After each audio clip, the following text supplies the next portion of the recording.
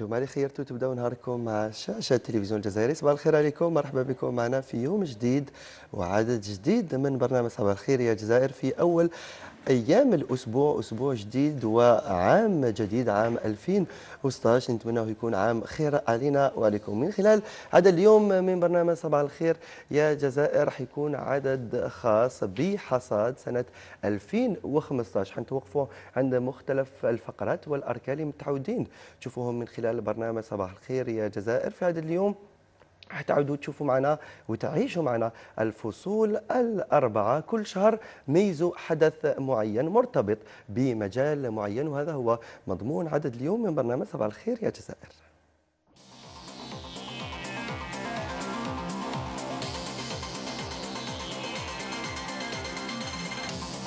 خدمتها الدولة الجزائرية في الخدمات العمومية. شهر فبراير يرتبط بدخول مجال التكوين والتعليم المهنيين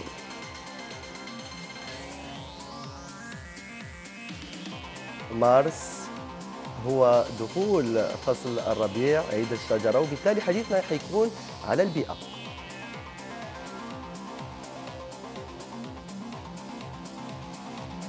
أفريل 2015 الحدث الثقافي الأبرز هو بداية تظاهره قسنطينة عاصمه للثقافه العربية.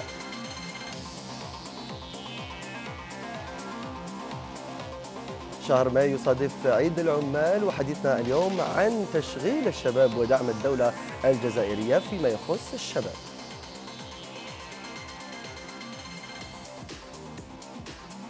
جوان هو عيد الطفولة وبالتالي حديثنا عن الطفولة في سنة 2015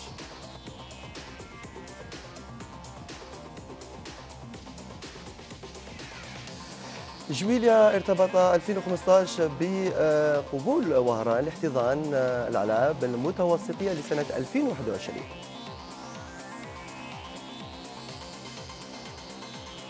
شهر أوت هو السياحة بالدرجة الأولى وحديثنا عن حصاد السياحة لسنة 2015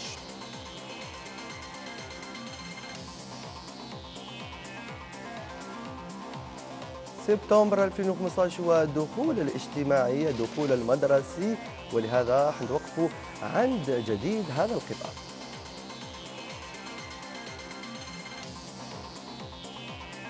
أكتوبر وقفتنا حتكون على عند التلفزيون لأنه 28 أكتوبر هو ذكرى استرجاع السيادة للإذاعة والتلفزيون.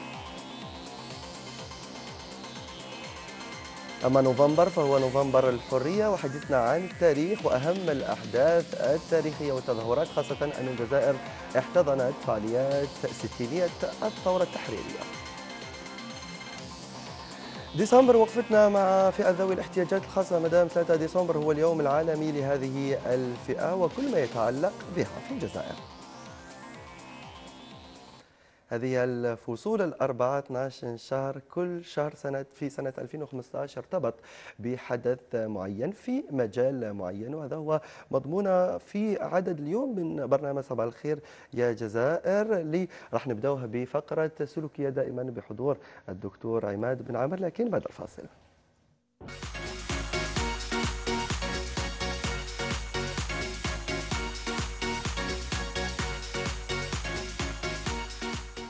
ونصبحوا بالخير على الدكتور عماد بن عامر اللي نورنا الديكور الجديد واللون الجديد للبلاتو صباح الخير دكتور. صباح الخيرات والبركات أخي محسن. مرحبا بك. الله يسلمك في هذا اليوم الجميل وفي هذا اليوم الذي نزلت فيه بعض الزخات وبعض وهذا غيث من السماء يعني ورحمة من السماء. أسأل الله عز وجل أن يكون قد استجاب دعاء الذين صلوا صلاة الاستسقاء. آمين. إن شاء الله وإن شاء الله تكون أمطار خير على بلادنا. ما دام رانا في أول أسبوع من السنة الجديدة نتمنى كل خير لنا ولبلادنا إن شاء الله. وهو كذلك أخي محسن. نتكلم عن موضوع مهم جدا يتعلق بالدعاء. يتعلق بعلاقة الإنسان بربه سبحانه وتعالى في عبادة جليلة تسمى عبادة الدعاء. وكذلك ندخل فيها مسألة جزئية متعلقة بالدعاء وهي دعاء الإنسان لأخيه الإنسان بظهر الغيب. تفضل لك الفضل أخي محسن. بسم الله الرحمن الرحيم. الحمد لله رب العالمين وأفضل الصلاة وأتم التسليم على سيدنا محمد وعلى آله وصحبه أجمعين. اللهم أخرجنا من ظلمات الوهم وأكرمنا بنور الفهم وافتح علينا بمعرفة العلم وسهل أخلاقنا بالحلم واجعلنا ممن يستمعون القول فيتبعون أحسنه. اللهم لا سهل إلا ما جعلته سهلا وأنت إذا شئت ربي تجعل الحزن سهلا. سهل اللهم أمورنا يا رب العالمين. رب اشرح لي صدري ويسر لي أمري واحلل عقدة من لساني يفقه قولي. أما بعد إخواني المشاهدين أخواتي المشاهدات هذه الوجوه الطيبة وهذه السرائر النقية وهذه الأفئدة المؤمنة الطاهرة أحييها بتحية الإسلام العطرة وتحية الإسلام السلام. فسلام الله عليكم جميعا ورحمته وبركاته. وصبحكم الله بكل معاني الخير والمحبة والإخاء في هذا اليوم الأغر المبارك الفضيل. فصباح الخير عليكم جميعا. أخي محسن إذا تحدثنا عن موضوع الدعاء نتحدث عن حبل متين مربوط بين الأرض والسماء مربوط بين الإنسان الضعيف وبين الخالق سبحانه وتعالى القوي القدير الذي يجيب دعوة المضطر إذا دعاه. إن هذا الدعاء هو هو حبل الله المتين. الإنسان ضعيف خلقه الله عز وجل ضعيفا وخلق الإنسان ضعيفا كما ورد في محكم التنزيل. إذا ضعف هذا الإنسان هو الذي يدفعه إلى أن يبحث عن قوة عن قدرة يتمسك بها. هو الله سبحانه وتعالى. وهذا هو الفارق الجوهري بين المؤمن بين المؤمن وغير المؤمن. تجد مثلا في الدول الغربية تجد الإنسان الذي لا يدين بدين الإسلام. عموما تجدهم نصارى يعني من المسيحيين. في كثير من الأحيان وحياتهم هي حياة إلحاد. حتى ولو كان في الظاهر يعني مسيحيا ولكنه يعيش حياة المادة حياة الإلحاد لا يؤمن بوجود إله. فتجده إذا ضاقت به الأمور وهذه طبيعة الحياة الحياة مش كلها نعم وكلها فرح يعني يوجد فيها أمور محزنة توجد فيها مصائب ابتلاءات إنسان فقد قريبه إنسان فقد عمله مصدر قوته. لما حدثت ما يعرف بالأزمة العالمية في خصوصا ما يتعلق بالعقارات كثير كثير من الغربيين انتحروا. لماذا؟ لأنه هو ضعيف. ولم يجد ملجأ يأوي إليه. إذا لجأ إلى اليأس وإلى القنوط وإلى الانتحار. في نظره أن الانتحار هو الحل الأمثل للهروب من تلك المشكلة التي وقع فيها. مشكلة مادية يعني تتعلق بعقارات. أما المؤمن تجده إذا إذ لهمت به الخطوب وكان في مصائب أو ابتلاءات تجده يلجأ إلى الله عن طريق الدعاء. بل حتى لما يكون في النعماء ويكون في البحبوحة يلجأ الله عز وجل بالدعاء. لأن الدعاء فيه سر. مش فقط أن الإنسان يطلب شيئا من الله عز وجل أو يستعيد من شيء لأن الدعاء إما أن تطلب نعمة وإما يعني تأتيك وإما أن تطلب من الله عز وجل أن يدفع عنك نقمة أو شرا. الدعاء فيه سر. أعظم من هذا أعظم من الطلب. الدعاء فيه سر الخضوع والتذلل بين يدي الله تبارك وتعالى وهذه العبادة. مع العبادة التي ينشدها الإسلام هو أن الإنسان يستشعر بأنه عبد. الدعاء هو أفضل عنوان لاستشعار الإنسان أنه عبد. لأن في بعض الأحيان الإنسان شوف فقط الإنسان أخي آه، محسن الإنسان لما يكون غني وعنده الأموال.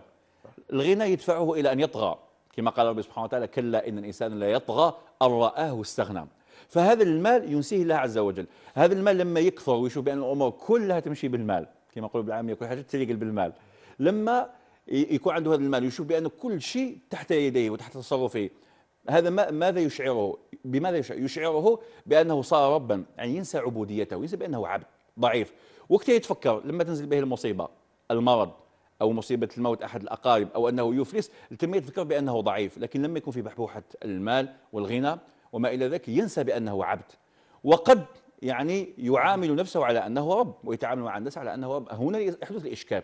لما نقول الدعاء فيه سر عظيم وأن الإنسان مهما كان كنت كنت سلطان أو ملكا كنت غنيا غنى قارون تستشعر بأنك عبد عن طريق الدعاء.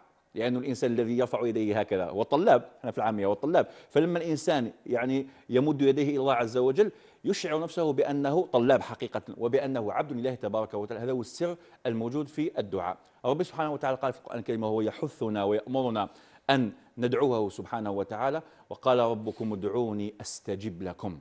ادعوني فعل الأمر. ثم يردفها بتتمة الآية. إن الذين يستكبرون عن عبادتي ولم يقل عن دعائي. وقال ربكم ادعوني. ما قالش اعبدوني. ادعوني أستجب لكم. إن الذين يستكبرون عن عبادتي فسمى الدعاء عبادة. لماذا؟ لأن الدعاء هو أفضل عنوان لإبراز العبودية لله سبحانه وتعالى. نروح نقطة ثانية أخي محسن وهي النقطة قلت الجزئية.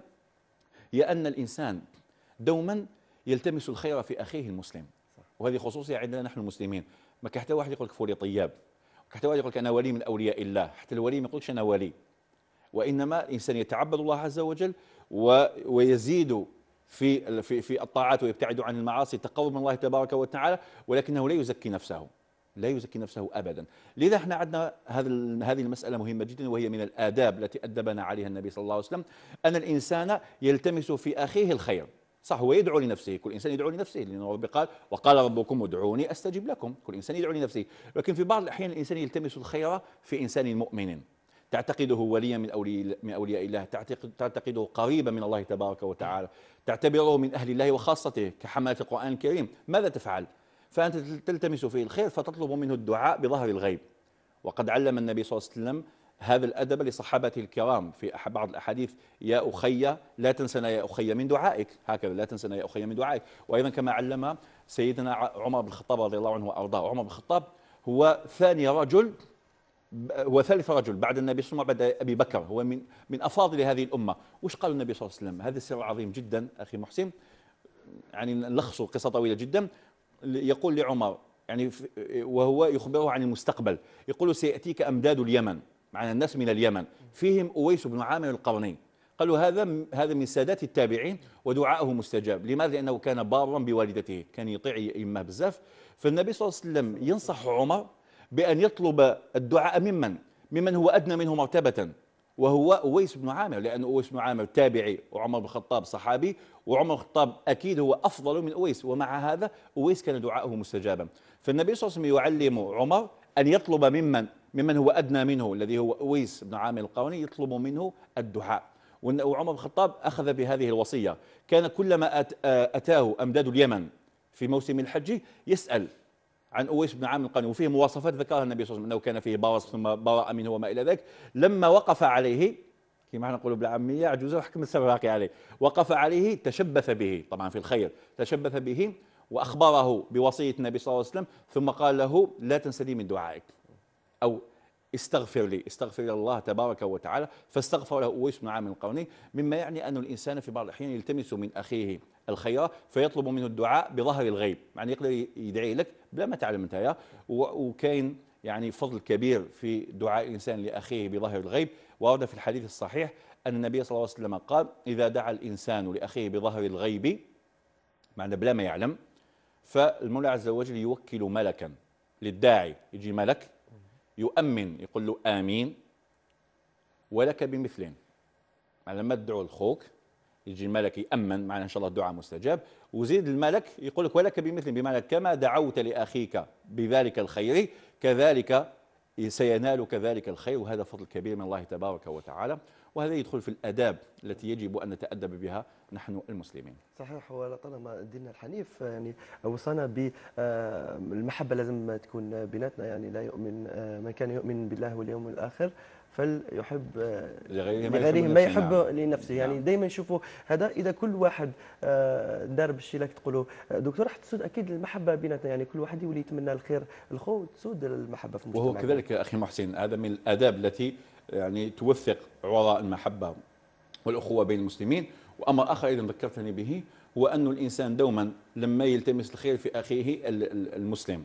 هذا أيضا سينتفع به المسلمون يوم القيامة. إحنا عندنا واحد العبارة علمنا علمنا إياها بعض الحكماء يقول لك لما تقولوا ادعي لي مثلا. صح. ادعي لي وش يقول لك؟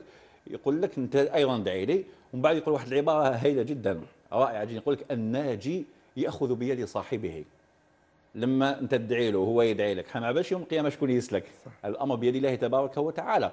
لكن يقولون نتواصل يقول لك الناجي لنجاه ربي سبحانه وتعالى واستجاب الدعاء تاعه ودخلوا الجنة يأخذ صاحبه الناجي يأخذ بيد صاحبه وهذا أيضا من التماس الخير في المسلمين. الخير موجود في هذه الأمة. ما حتى واحد يقول لك فوري طياب ما حتى واحد يقول لك أنه أنا وبعد الطوفان أنا قريب الله تبارك وتعالى أنا عندي الحق المطلق فيدخل من شاء إلى الجنة ويدخل من شاء إلى النار. إنسان يتعبد الله تبارك وتعالى وهو على خطر. هذا النبي صلى الله عليه وسلم كان يقول يا مقلب القلوب ثبت قلبي على دينك اللهم مصرف القلوب صرف قلوبنا على طاعتك. وبالتالي الإنسان يفعل الخير ويلتمس الخير في إخوانه ويوم القيامة المولى تبارك وتعالى يشفع المؤمنين في المؤمنين. نسال الله عز وجل شفاعة النبي صلى الله عليه وسلم وشفاعة المؤمنين. آمين. إن شاء الله فقط كنقطة أخيرة دكتور في بعض الأحيان الناس يدعوا لكن آه، ربما ما يستجبش دعاء تاعهم مرة اثنين خلاص يتوقف. إحنا شي نقولوا؟ إنه الواحد عمره ما ييأس من رحمة الله سبحانه وتعالى. والدعاء إذا آه، ما استجبش يعني في الدنيا أكيد هو مخبي كما يقولوا الآخرة. وهو كذلك أخي محسن. هذا كلام دقيق جدا لأنه استجابة الدعاء يكون بثلاثة أمور وهذه ترجع لله ما ترجعش لنا إحنا إما أن يعطيك سؤلك قلت له أعطيني الدراهم يعطيك الدراهم. إما أن يدفع به عنك مصيبة والدعاء والبلاء يتعالجان يتصارعان في السماء فيدفع الدعاء والبلاء. والأمر الثاني إما أنه يدخر لك أجر يوم القيامة. والإنسان يوم القيامة لما يشوف الأجر تاع الدعاء يقول كرم استجب لي ولا دعاء في هذه الدنيا لأن العبارة بالآخرة مش بالدنيا. إذا هذا الكلام دقيق أخي محسن. وما دام حكينا على الدعاء أكيد لازم نختموا بدعاء آه، من عندك قبل ما نروحوا نسمعوا الدعاء. تاعنا واش رايك؟ يعني واش نقولوا أخي محسن؟ نسأل الله تبارك وتعالى بأسمائه الحسنى وصفاته العلى أن يحفظ البلاد والعباد وأن يجعل هذا الغيث غيث رحمة وبركة وأن يرفع عنا كل شكل من أشكال الابتلاءات إنه على ذلك قدير. امين يا رب العالمين. يعطيك الصحه دكتور. الله يسلمك. فيك. أكيد الموعد غدوة إن شاء الله دائما في برنامج صباح الخير يا جزائر اللي نكمل معكم نكمل معكم مشاهدينا على القناة الأرضية والجزائرية الثالثة. نبقى دائما مع الدعاء. باش نسمعوا دعاء اليوم بصوت كل من أحمد معاش وعائشه مشتر.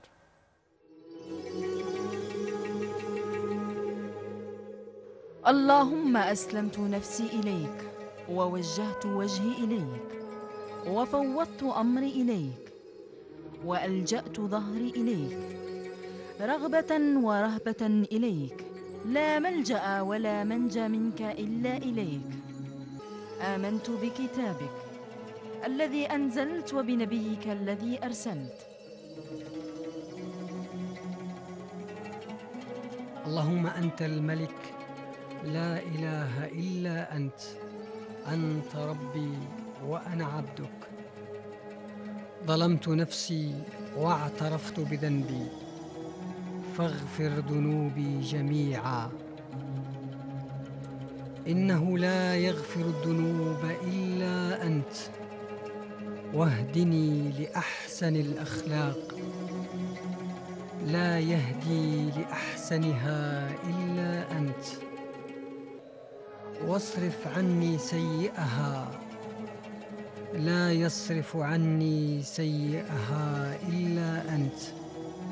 لبيك وسعديك والخير كله بيديك والشر ليس إليك. أنا بك وإليك. تباركت وتعاليت. أستغفرك وأتوب إليك. اللهم خلقت نفسي وأنت توفاها لك مماتها ومحياها. إن أحييتها فاحفظها وإن أمتها فاغفر لها.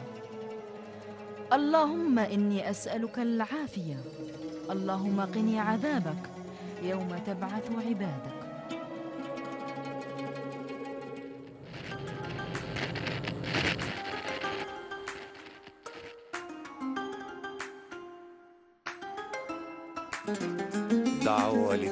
شعوب العالم من أجل السلام.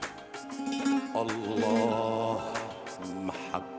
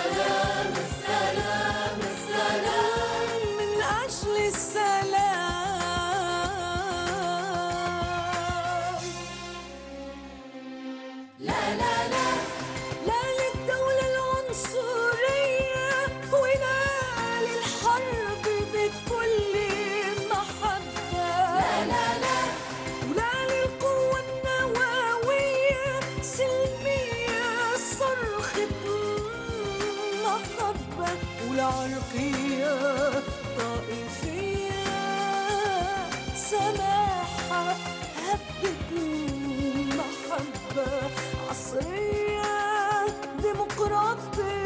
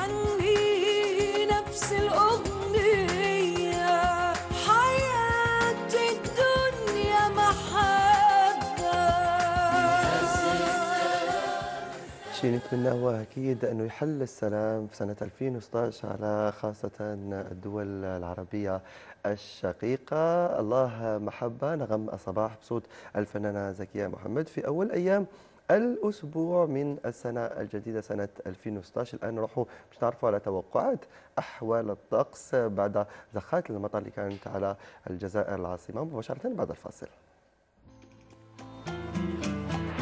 مع موبيليس أينما كنتم. اطلعوا على أحوال الطقس. موبيليس أينما كنتم؟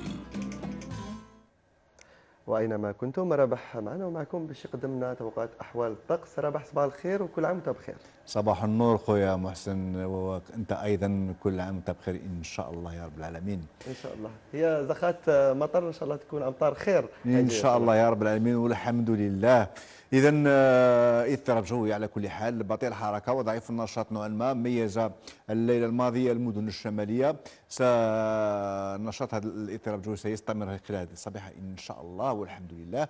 ولكن الأمور حتستقر تدريجيا بالنسبة لتقريبا كل المدن الشمالية. اذا انتبهوا معي بالتفصيل وبالتدقيق. مشاهدينا الكرام اليوم إن شاء الله إذا كان ممكن صورة موالية.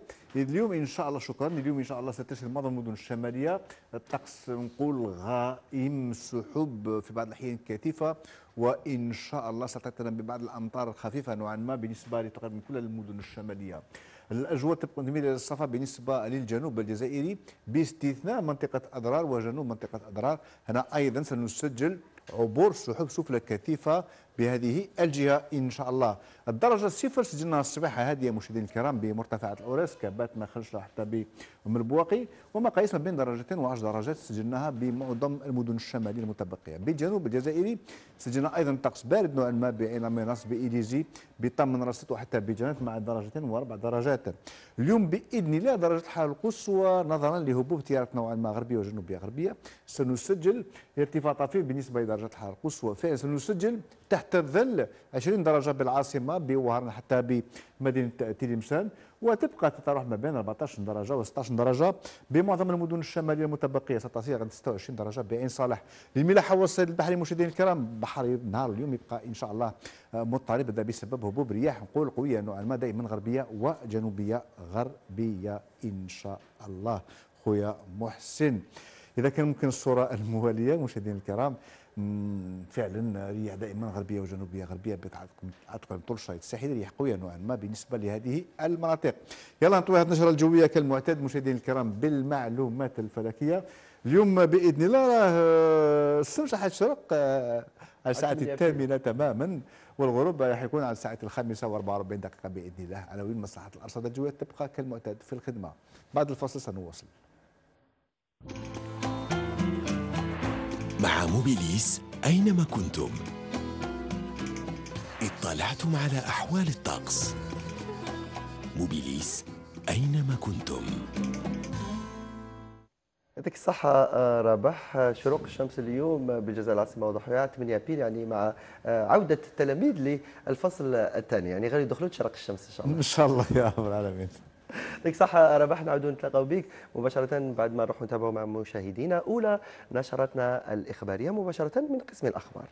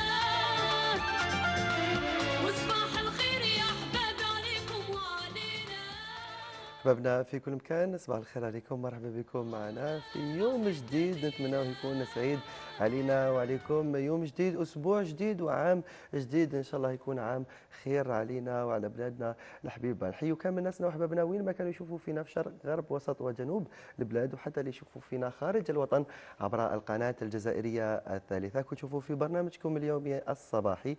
صباح الخير يا جزائر. في صبيحة هذا الأحد 3 جانفي 2016 هو أول أسبوع من السنة الجديدة. اليوم حيكون عدد خاص. من برنامج صباح الخير يا جزائر طاقم التحرير حضر العديد من المواضيع. من خلال عدد اليوم مشاهدينا حتعيشوا معنا الفصول الأربعة لسنة 2015 حتعيشوا معنا شهر بشهر كل شهر خلال سنة 2015 آه، صار فيه حدث معين في مجال معين هي المجالات اللي موالفين تشوفوها في برنامجكم الخدماتي. صباح الخير يا جزائر. راح تشوفوا معنا في عدد اليوم. شهر جانفي حنتوقفوا عند الخدمات العمومية اللي قدمتها الدولة الجزائرية.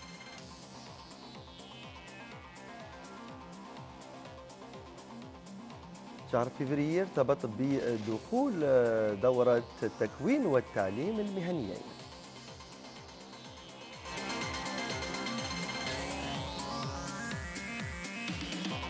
مارس ودخول فصل الربيع وحديثنا عن البيئة وأهم الأحداث المتعلقة بهذا المجال.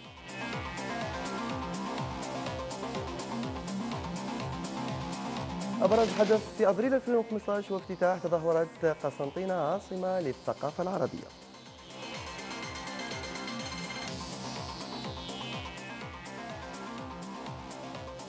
شهر ماي مرتبط بالعمل والعمال واليوم حديثنا عن توصل دعم الدولة لتشغيل الشباب.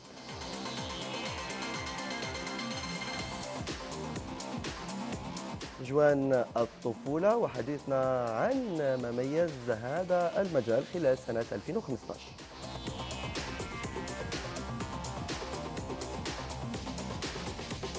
الحدث الأبرز في جويليا 2015 هو تحضيرات لوهران لاحتضانها للألعاب المتوسطية سنة 2021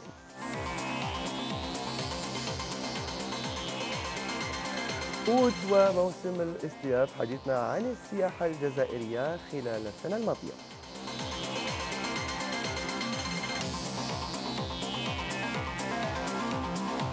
شهر سبتمبر مرتبط بالدخول الاجتماعي وحديثنا فيه حيكون عن الدخول المدرسي التربية والتعليم.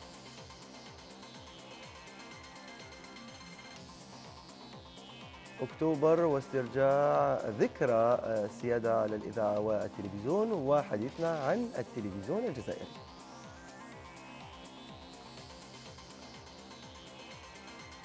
نوفمبر هو نوفمبر الحرية واختتام تظاهرة ستينية الثورة التحريرية.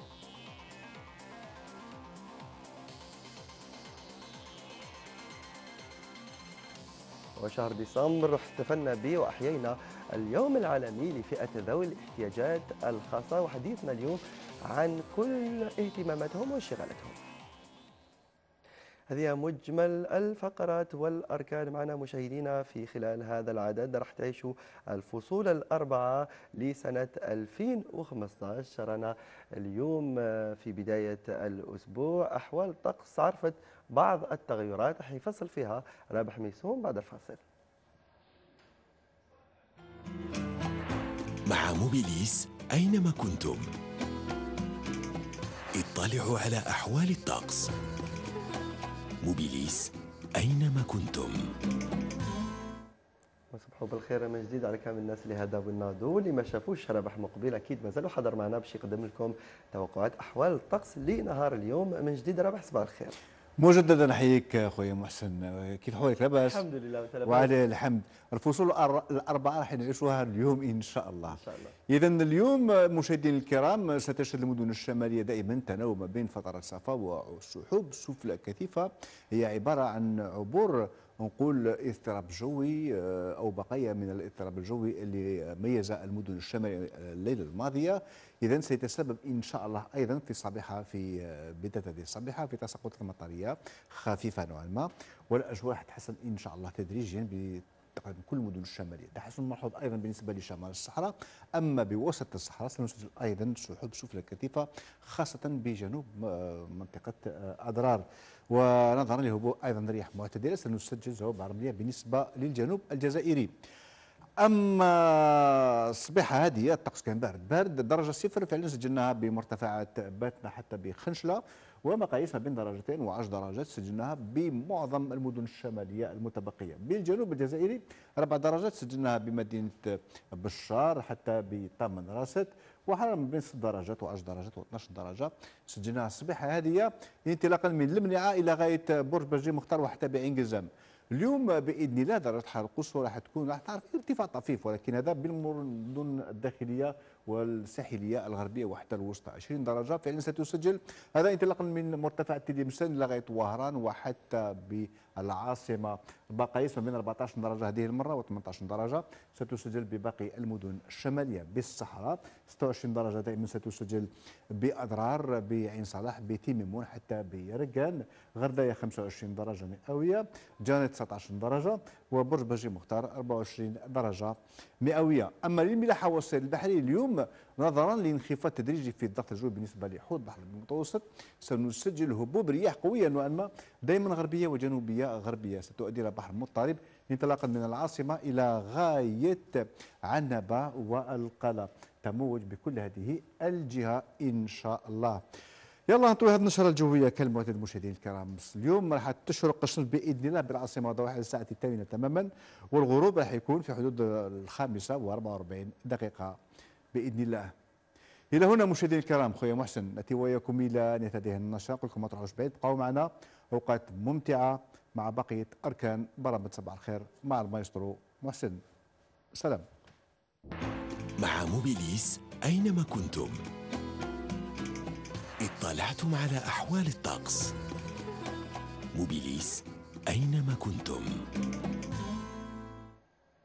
يعطيك الصحة رابح هذا هو رابح دائما بالنشاط تاعو الحيوية تاعو نبداو نهارنا إن شاء الله متفائلين. هذا هو آه، أول يوم من الأسبوع. اليوم التلاميذ حيرجعوا إلى مقاعد آه، الدراسة. وحسينا بلي صح فصل الشتاء راهو دخل. الحمد لله على كل حال الحمد لله. فراح شمان شوية على كل حاجة حال. خفيفة. ولكن الحمد لله رانا متفائلين بإذن الله والأمور حتستقر خلال الأيام المقبلة بإذن الله. فيه في احتمال إن شاء الله في احتمال تغيير في التجري في احتمال تغيير جذري بالنسبة للوضع الجوي بالنسبة لحوض الأبيض المتوسط.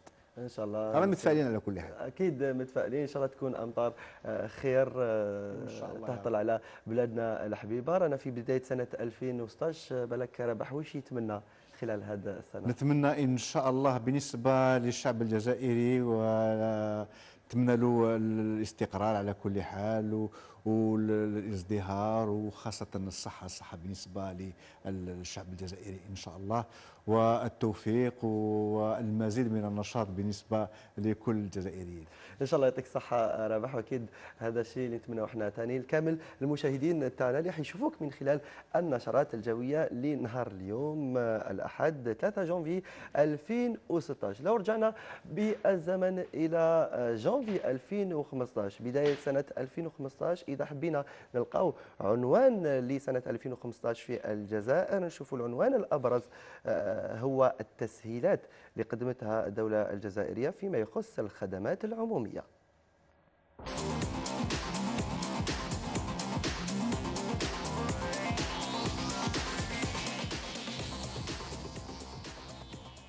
خدمات عمومية هي أول محطة في عدد اليوم العدد الخاص من برنامج صباح الخير.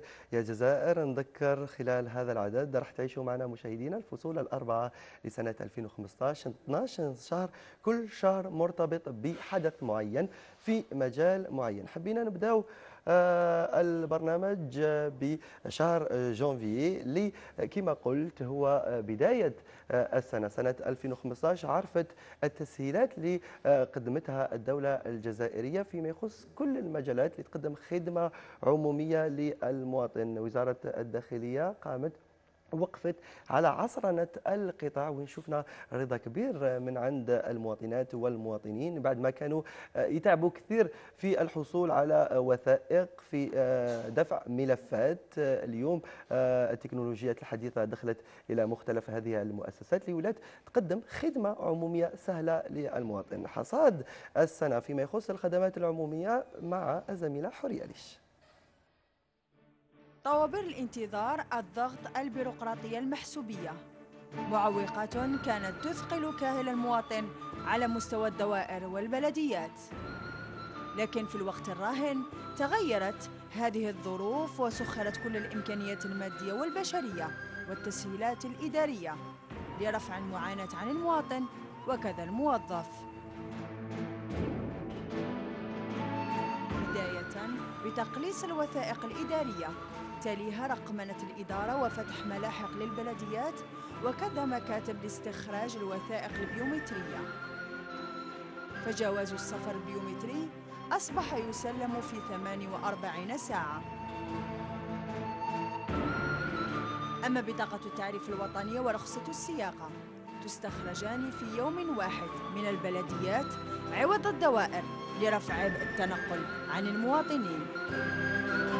فهذه الإصلاحات الإدارية التي شهدتها سنة 2015 ستستكمل في سنة 2016 ببطاقة وطنية ورخصة سياقة بيومتريتين في انتظار تعميم هذه الإصلاحات على باقي إدارة الوطن لتحقيق التنمية والرقي.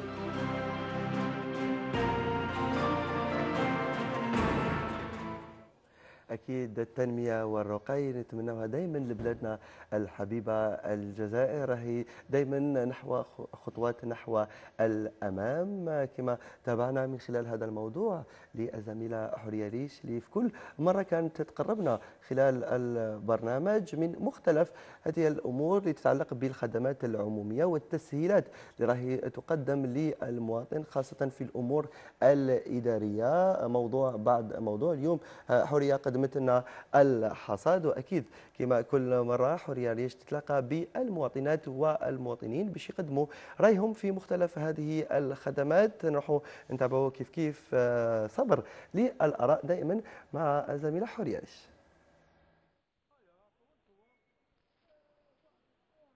نقول هذا القانون اللي داروا في 2015 تاع تخرج كارت ناسيونال باسبور من بلدية حاجة مليحة. الحاجة الأولى على الغاشي parce que الدائرة فيها بزاف بلديات. حاجة ال deuxième شغل تنقص la chaîne parce que شغل كيما نقولوا السكان تاع البلدية هذيك ماشي كيما اللي في عود يروح للدائرة transport كذا يعيا في الطريق. الحاجة الأولى يوصل على البكري.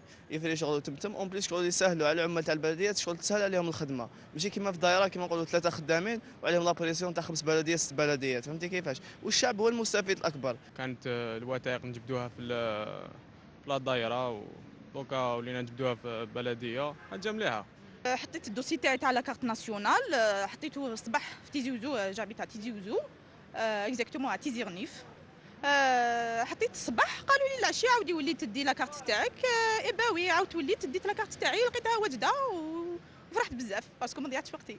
دوكا هكذا بهذا العفسة إن شاء الله يولي تنقص شوية الضغط هذه la pression اللي كاينة على ال- الدائره تولي في بلديه حاجة مليحة تنقص. آه، بالنسبة للوثائق يعني اللي كانوا يطلبوا كانوا يطلبوا لنا وثائق قصيره يعني كانت تدي لنا وقت طويل يعني باش نخرجوا كاع الوثائق. دركا بالنسبة لنا ملي نقصوا لنا الوثائق ورقه ورقة ولا زوج ولا ولات ما تديناش وقت كبير يعني باش نكملوا صوالحنا وراقينا ونتمشاو مع امور تاوعنا ونتمشاو مع صوالح آخرين. أنا personnellement عاودت لي passeport pour الاولاد la carte نتاعي عاودتهم donc dans un délai vraiment يعني rapide et c'est un point positif نقصت la paperasse. آه، ولاو بزاف الناس آه، ما عندهمش صعوبات بزاف في, ال- في الوقت شغل ضيق الوقت. ينقصوا من من ال- من الجري لي لي بابي بزاف. ولاو تمتم شغل في 48 ساعة في 48 ساعه تقدري تخرجي آه، تقدري تخرجي passeport. même la carte nationale ثاني ما تعاوديش الوثائق بزاف آه، بز- شحال من مرة وانت تجري وباش تعاودي بزاف شغل les papiers alors شغل même البلدية في في 2015 هذه نقصت بزاف على المواطنين ولاو شغل المواطنين يلقاو سهولة باش إنهم شغل يدفعوا ال passeport تاعهم ويجبدوه في أقرب وقت. هذا التقسيم الإداري مليح يعني اللي كانت bon كانوا من قبل كانت la daïra و la daïra كانت تخدم les passeports les cartes d'identité وكان ال carte d'identité يقول لك على سمانة وعلى سمانة بالك تحتاجيها في هذاك اليوم. ودوك là non الحمد لله. عاد la carte d'identité تخرج تمتم le passeport par exemple يا ربي une semaine شكرا للزميلة حورية ريش على هذا الصبر. للآراء كانوا هذو مشاهدينا آراء المواطنات والمواطنين فيما يخص عصرنة آه، المؤسسات لتقدم خدمة عمومية للمواطن خاصة الأمور الإدارية. كانت هذه محطتنا في آه، أول موضوع ضمن أول شهر من السنة علاش خيرنا آه، الخدمات العمومية مرتبطة بشهر جانفي لأنه بداية سنة 2015 وين كان الحدث الأبرز آه، هو عصرنة آه، القطاع قطاع ليقدم الخدمة العمومية للمواطنين. من شهر جانفي نروح إلى شهر فبراير 2015 وين عرف آه، دخول قطاع التكوين والتعليم المهنيين. كما تعرفون مشاهدينا هذا القطاع المهم جدا عنده دورة سبتمبر ودورة فبراير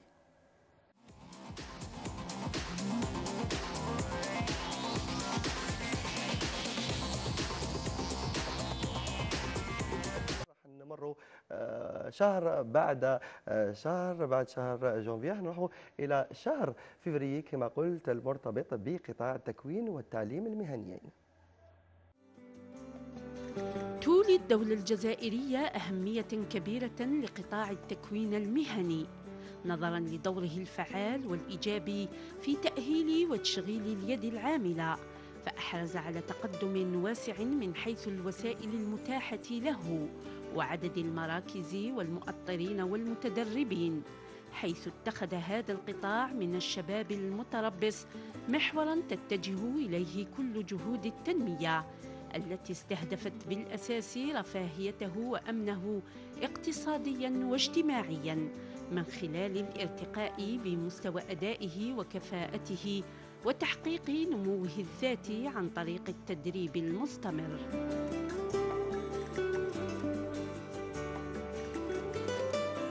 ولأهمية هذا القطاع وزيادة الإقبال عليه ارتفع تعداد المؤسسات التكوينية في ولاية الجزائر من 58 مؤسسة سنة 1999 إلى 77 مؤسسة سنة 2014 زيادة إلى 206 مدارس خاصة معتمدة.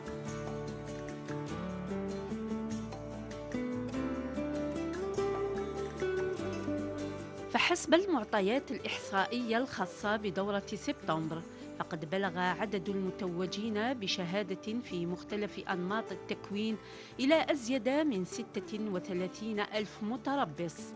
أما عن تعداد المتوجين بشهادة التأهيل فقد ارتفع إلى أكثر من 40 ألف مسجل.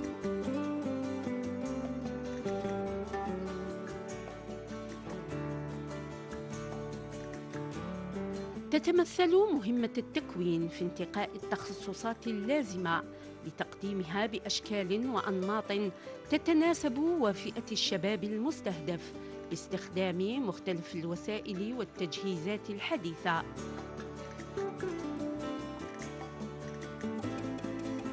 ولتحقيق الانفتاح التكويني على القطاعات الإنتاجية بالتعاون مع الشركاء الاقتصاديين. سخرت بعض المعاهد والمراكز التكوينية كل الإمكانيات لتعديل المسار في الممارسات التدريبية بإدخال تخصصات جديدة لاستثمار الطاقات وتكييف معارفها مع متطلبات المهنة وتطور الاقتصاد الوطني.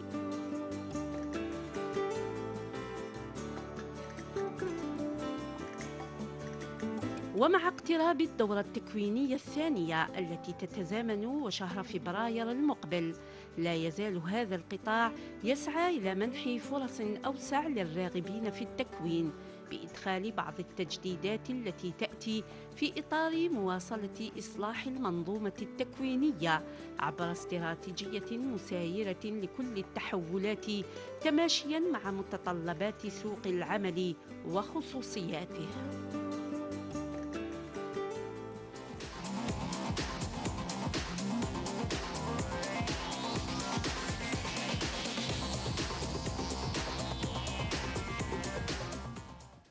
كانت هذه مشاهدينا محطتنا لشهر فيفري كما قلت مرتبطة بدخول دورة فيفري 2015 وكما برنامج صباح الخير يا جزائر غطى هذا الدورة يغطي بحول الله دورة فيفري.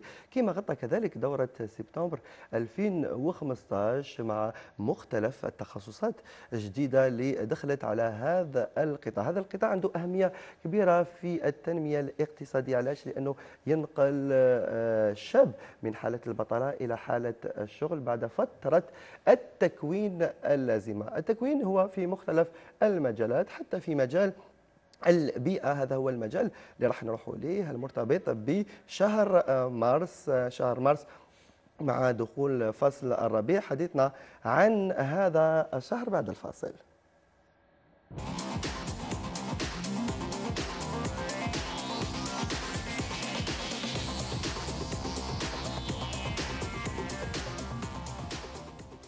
البيئة دائما مرتبطة بالإخضرار والإخضرار. شفناه مع دخول فصل الربيع في 21 مارس 2015 لكن الشيء المؤسف في الجزائر وفي العالم آه ظاهرة الاحتباس الحراري. آه اللي أكيد كان هناك خلال سنة 2015 دق ناقوس نقص أقول الخطر في هذا المجال من خلال مؤتمر باريس اللي خرج بالعديد من التوصيات. وحنا الشيء اللي دائما نحس به من خلال البرنامج المحافظة على البيئة. نتابعوا أهم ما جرى في هذا القطاع مع الزميلة سميرة بن يخلف.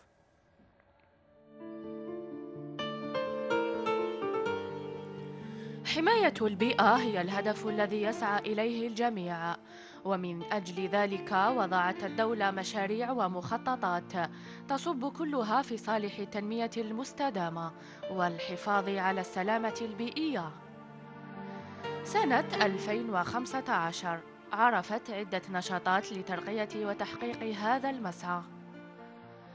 بمناسبة اليوم العالمي للغابات نظمت جمعية أصدقاء شريعة يوما دراسيا حول شجرة الأرز الأطلسي يرمي إلى التوعية بدور الغطاء النباتي في الحفاظ على التوازن البيئي.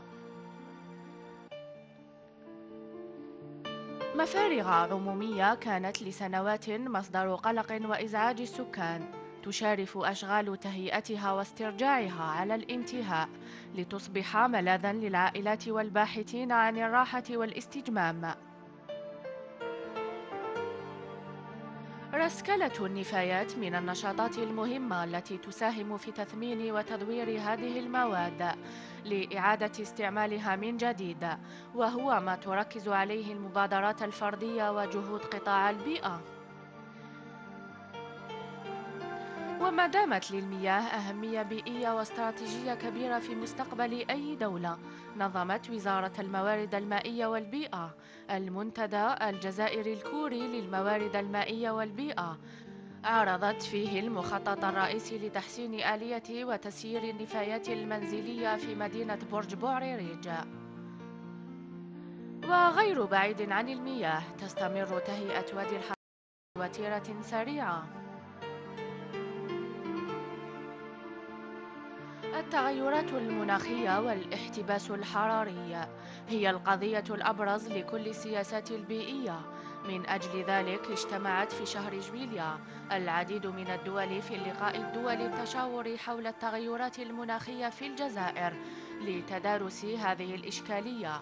والخروج بورقة طريق بيئية عالمية لمواجهة التغيرات المناخية في الندوة الواحد وعشرين للأمم المتحدة حول التغيرات المناخية. ومن أجل المحافظة على الكهرباء ومكافحة الاحتباس الحراري نظمت جمعية سيدرا لأول مرة في الجزائر ملتقى ساعة الأرض والمواطنة البيئية الذي تبناها الصندوق العالمي للطبيعة عبر العالم. ناقش فيها المشاركون دور الطاقات المتجددة لتحقيق التنمية المستدامة.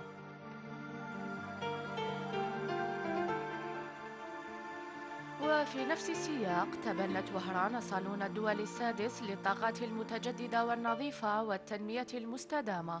تم فيه عرض آخر المستجدات في مجال الطاقات المتجددة والنظيفة. كما نظمت ولاية بومرداس اللقاء الوطني السابع للنوادي الخضراء تحت شعار الاستغلال الأمثل للطبيعة. جاء المعرض لنشر الثقافة البيئية في أوساط الشباب وتوعيتهم بأهمية المحافظة على البيئة. كما احتضنت دار البيئة لولاية بازا يوما دراسيا وتحسيسيا حول الاقتصاد الأخضر. يهدف إلى توعية الشباب وتشجيعهم على الاستثمار في مجال الطاقات المتجددة وخلق ما يعرف بفرص العمل الخضراء وضمان النمو الاقتصادي المستدام.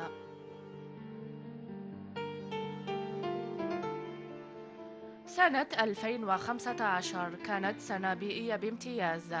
ففي باريس اجتمعت كل دول العالم تقريبا لبحث مستقبل شعوب الأرض في ظل التغيرات المناخية القادمة وكيفية إيجاد حلول بيئية سليمة لا تتعارض مع التنمية المستدامة من أجل حياة أحسن.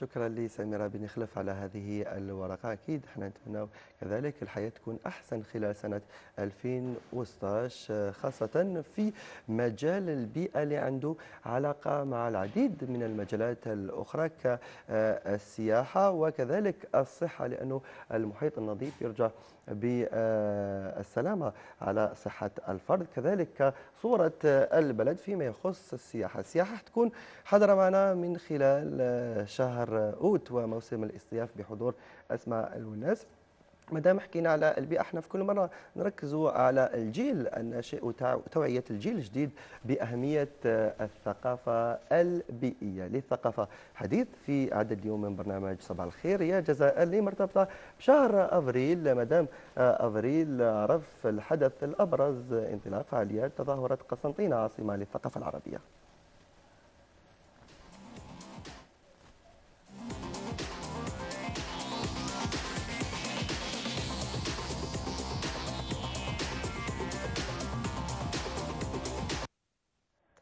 شهر بعد شهر مجال بعد مجال كل شهر يميزه حدث معين في مجال معين. في شهر أفريل 2015 في الجزائر كان الحدث الثقافي الأبرز هو انطلاق فعاليات تظاهرة قسنطينة عاصمة للثقافة العربية. تظاهرة متواصلة إلى غاية أفريل 2016 بالإضافة إلى هذا الحدث الثقافي الساحة الثقافية الجزائرية عرفت انتعاشة كبيرة من خلال عديد المهرجانات في مختلف ربوع الوطن شرق غرب وسط وجنوب والحصاد مع أمين عرجان في هذا الموضوع.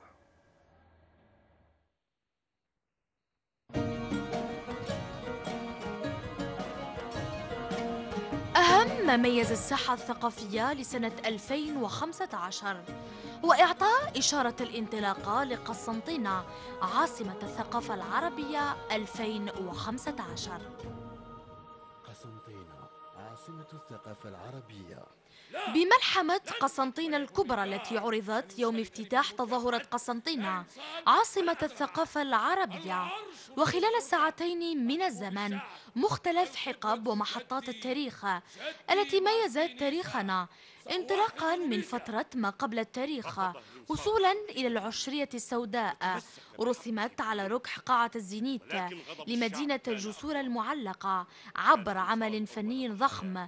جمع بين التمثيل الرقص والتقنية البصرية الحديثة. فقد لجأ أخوه أدربعل إلى روما يستجديها لتعيده إلى السلطة. كما احتفلت مدينة الجسور المعلقة بعدة أسابيع ثقافية محلية. تحتفي بالموروث الثقافي للعديد من ولايات الوطن أحيتها عدة جمعيات ثقافية.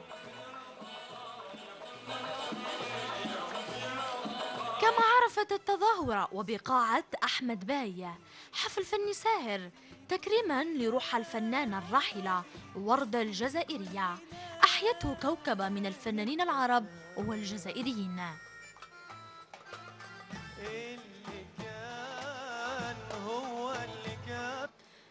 الطبعة السادسة لبرنامج الهواة ألحان وشباب لسنة 2015 عرف تتويج المتسابق أرزقي وعلي كأحسن صوت لسنة 2015 بعدما قال الجمهور كلمته الفاصلة ومنح لممثل ولاية بجاية اللقب المنشود هنيئا ليك وعلي تفضل معايا.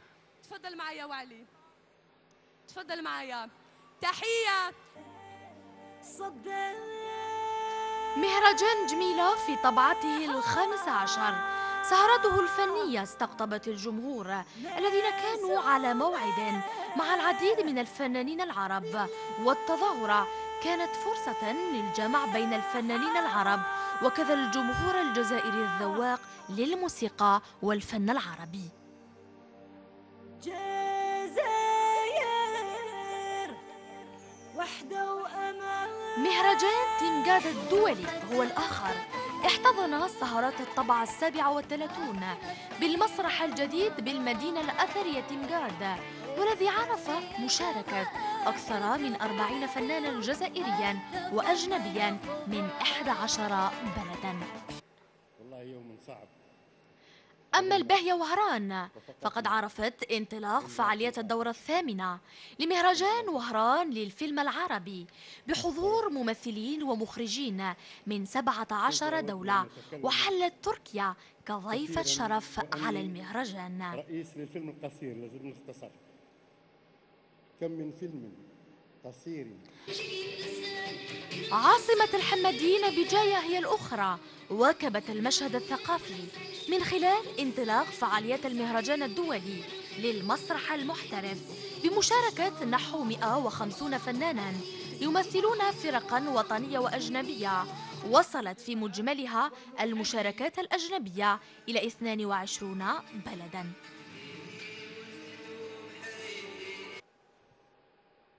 ويبقى خير جليس في الأنام كتاب الذي كان حاضرا في الفعاليات الثقافية من خلال الطبعة العشرون لصالون الدولي للكتاب الذي عرف مشاركة أكثر من ألف عارض من خمسون بلدا من أربعة قارات منهم 620 ناشرا أجنبيا و290 عارضا جزائريا كانوا حاضرين في هذه الطبعة.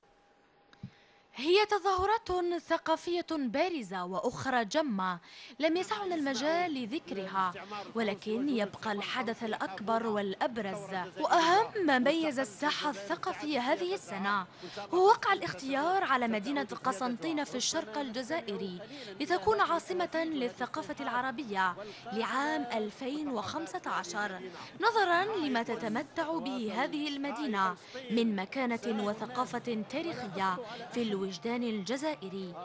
هذا مشهد رائع. انظر إلى هذا المشهد الرائع. يا له من نور مشهد على جميل. نور. نور على نور. نور على نور.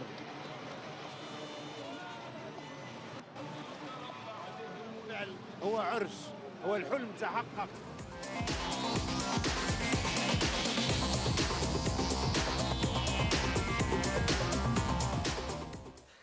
أكيد ألوان الثقافة خلال سنة 2015 رصدتها أمينة عرجان وكما قالت في التقرير ربما الورقة ما تكفيش باش تتحدث على كل الأحداث الثقافية لهذا. أمينة حاضرة معنا في هذا الصباح صباح الخير. أمينة كل عام وأنت بخير؟ صباح الخير محسن عام سعيد وإن شاء الله كل عام وأنت بألف خير. صباح الخير مشاهدينا. وبمناسبه حلول سنة جديدة نقول لكم عام سعيد وإن شاء الله كل عام وأنتم بألف خير.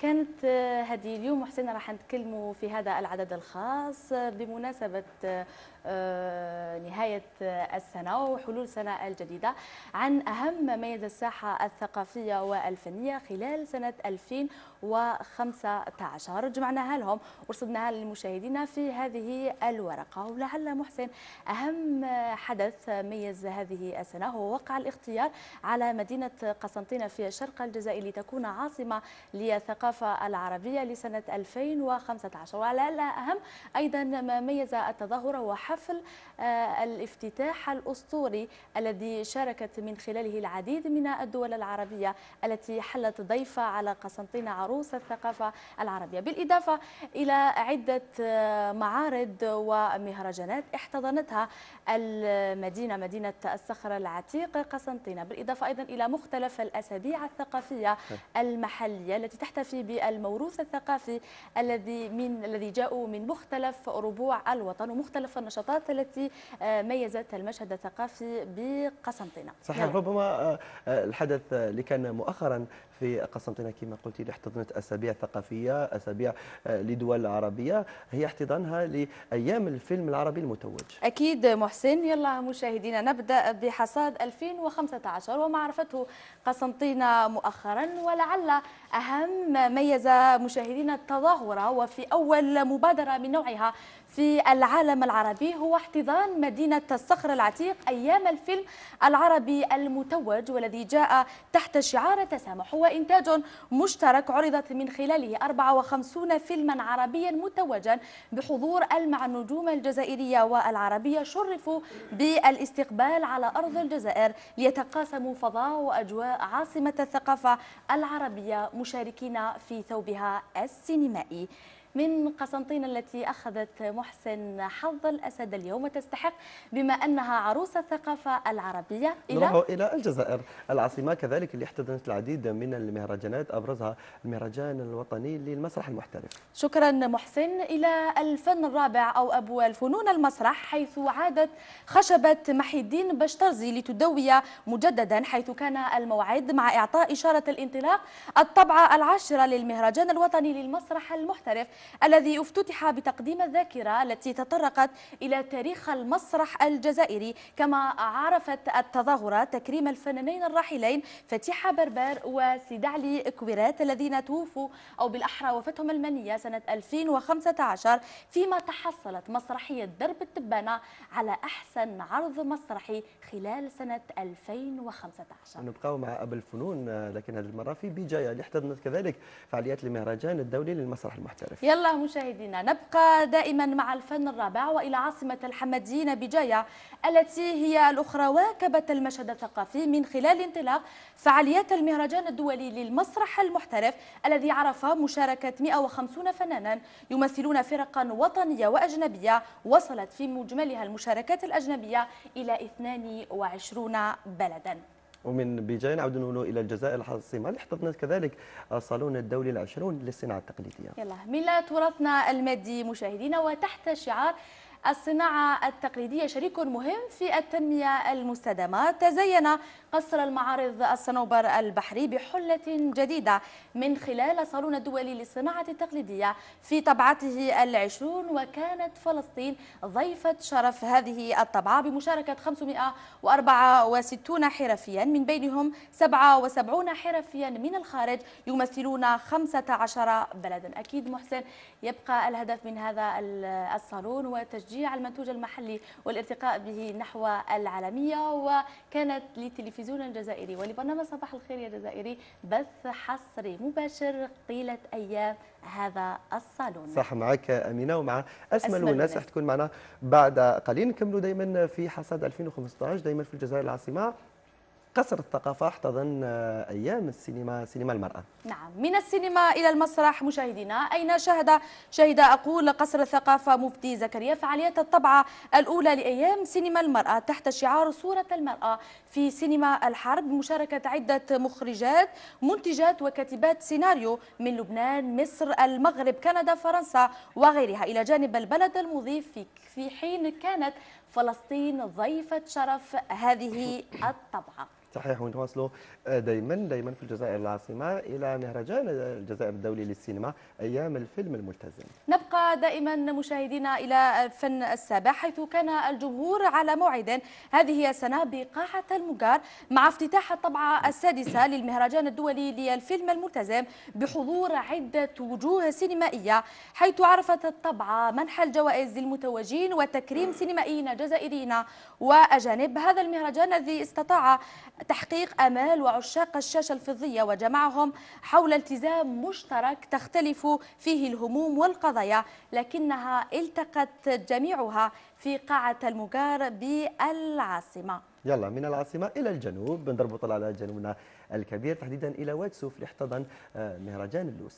نعم محسن من السينما إلى أو من المسرح والسينما ولما لهما من دور في بث الوعي والرسائل الهادفة إلى جنوبنا الكبير والشاسع وبالضبط إلى مدينة الواد التي احتضنت هذه السنة مهرجان اللوس أي المهرجان الدولي لموسيقى وأغاني ورقصات العالم في طبعته الأولى.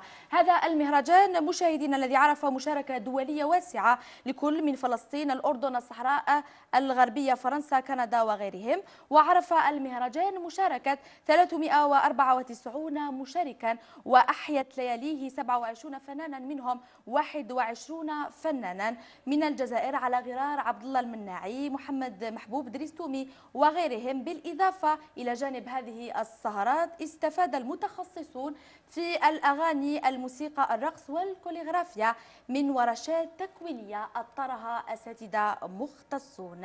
إذا محسن بهذا الحدث الثقافي الذي ميز حصاد سنة 2015 نكون قد وصلنا إلى نهاية حصاد الثقافي لسنة 2015 لكن لا يمكن أن نمر مرور الكرام دون أن نتطرق إلى ما افتقدته الساحة الثقافية والفنية. هذه السنة من فنانين عمالقة أمثال سيد علي كويرات الذي أطلق على تسميته سينما لقب سينما كوسموس. فتيحة بربر حميد حناشي المعروف باسم ديدي كريمو وأحمد سري عميد الأغنية الأندلسية. نقول لهم يرحل الجسد ولكن يبقى الأثر لأن أعمالهم ستبقى راسخة في ذاكرة الأجيال المتعاقبة. في ذاكرة الجزائريين لا محالة وإنا لله وإنا إليه راجعون. إذا كانت هذه أهم محطاتنا البارزة لمختلف الفعال الثقافية التي ميزت هذه السنة. إن شاء الله تشهد سنة 2016 انتعاش ثقافي مثل ما عرفته سنة 2015 وشكرا لك محسن ولكم مشاهدينا. أنا أشكرك على نشاطك دائم أمينة وعلى كل هذه التغطيات وكما كنت تقولي. الأخبار اللي جبتيها نصها مفرح ونصها محزن لأنه هذه سنة الحياة هي نعم. فرح وأحزان بالأمس. آه، كذلك فقدت آه، الجزائر قامة أخرى من قاماتها الإعلامية والثقافية. آه، الراحل طاهر بن عيشة إنا لله وإنا إليه راجعون. وأكيد نقول شيء اللي قلته أمينة. هؤلاء المبدعين والقامات ترحل يرحلون عن المكان لكن اسمائهم تسكن الزمان. نشكرك بزاف أمينة. وأكيد وقفتنا حتكون من خلال برنامج صباح الخير يا جزائر مع كل هذه الأسماء اللي شكلت جيل مثقف واعي ونتمناه الجيل اليوم أنه يكون خير خلف الخير سلف الشباب. تاع اليوم اللي أكيد واعي بكل آه، المجالات اللي لازم يخدم فيها لأنه اليد في اليد نبنوا بلادنا. من شهر أفريل اللي كان شهر الثقافة نروحوا إلى شهر آه، ماي اللي مرتبط بالعمل والتشغيل والدولة الجزائرية مواصلة في دعمها لتشغيل الشباب.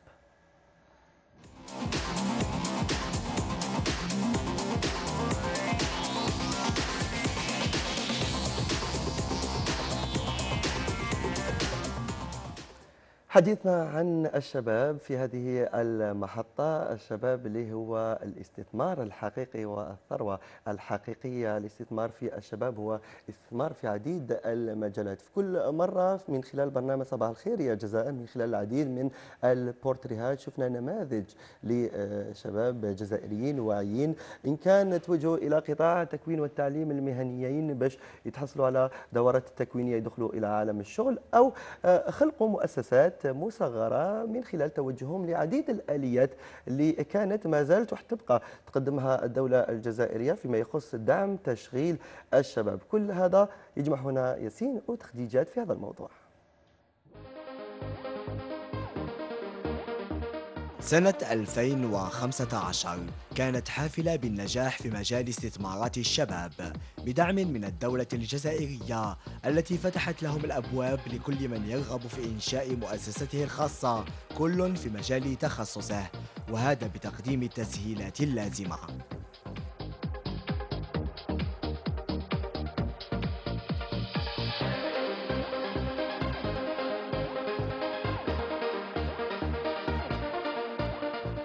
باش نوسعوا المشروع تاعنا. درنا درنا l'ANSEJ voilà.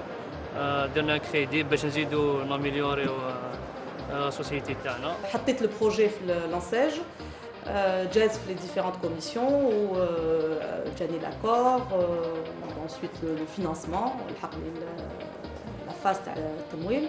قمت بالاتصال بوكالة تشغيل لولاية زرواد دعم تشغيل الشباب. لقيت من عندهم يعني كل التجاوب طرحت عليهم الفكرة تاعي ولقيت يعني تجاوب من عندهم وهكذا بدأت يعني مسيرة. وباعتبار الشباب الجزائري يتمتعون بإرادة وعزيمة قوية وطموحهم ليس له حدود. أسسوا مؤسساتهم الخاصة عن طريق الوكالة الوطنية لدعم تشغيل الشباب أو الوكالة الوطنية للتأمين عن البطالة حيث استطاعوا أن يصنعوا منتوجا جزائريا 100% وتمكنوا من تشغيل اليد العاملة بامتصاص شبح البطالة. بالإضافة إلى تكوين شباب تكوينا ميدانيا للاستفادة من الخبرة مستقبلا. هذا المنتوج راه 100% جزائري. مام المحرك مخدوم في التور موبيني الانا الدولة شجعتنا في كانوا فيها سهولات يعني في البنوك يعني في هذيك وكاين شباب راهم إن شاء الله يشوفوا المثل تاعنا حنايا ويديروا ويكونوا في الطريق تاعنا إن شاء الله باش يوصلوا كما وصلنا حنايا. باش تاع الدولة اللي دارتو تاع لونسمون تاع 2 مليون لوجمون ساعدنا بزاف لا دي لا إم تي بي ولا عندنا بزاف لي سونتربريز اللي يجوا يدوا علينا هذا البرودوي تاعنا. وكما راك تشاهد حنا on est certifié ISO 14000 و 9001 يساعد ثاني نجمو même نفسه منتوج أوروبية. وباعتبار قطاع الفلاحة أحد أهم القطاعات قدمت الدولة الجزائرية تسهيلات للشباب للاستثمار في هذا المجال باعتباره عنصرا هاما في التنمية المستدامة وإنعاش الاقتصاد الوطني.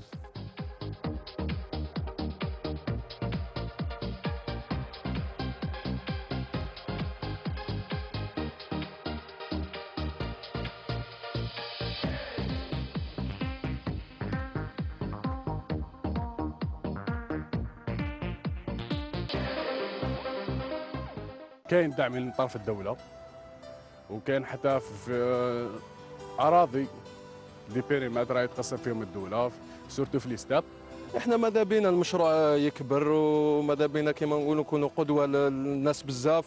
ماذا بينا؟ يكون منتوج تكون خير للبلاد.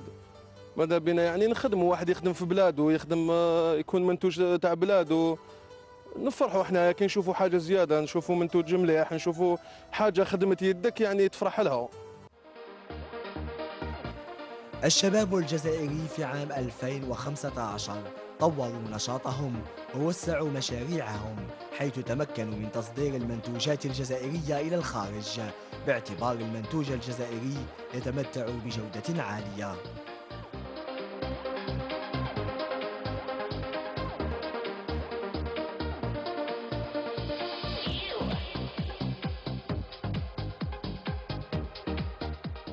المنتوج تاعنا مشى حتى للخارج. درنا زوج عمليات تصدير للخارج. ورانا في مفاوضات مع زوج بلدان إفريقية. تصدير إلى تونس وليبيا وعندنا بعض les contacts avec les pays africains ثمرة نجاح الشباب الجزائري. لم يكن وليد الصدفة بل كان بالعمل الدؤوب والكفاءة. باعتبار الدولة الجزائرية ساعدتهم في إنجاح مشاريعهم بتدعيمهم ماديا ومعنويا لتحسين نوعية الإنتاج والمردود الوفير. سنة 2015 انقضت ليحل علينا عام 2016 ومجهودات الشباب الجزائري لا زالت متواصلة في إنجاح مشاريعهم والرقي بها إلى أعلى المستويات بهدف توظيف أكبر عدد ممكن من الشباب والمساهمة في رفع الإنتاج الوطني. وتبقى الدولة الجزائرية صاهرة على مرافقتهم وتشجيعهم في كل المجالات.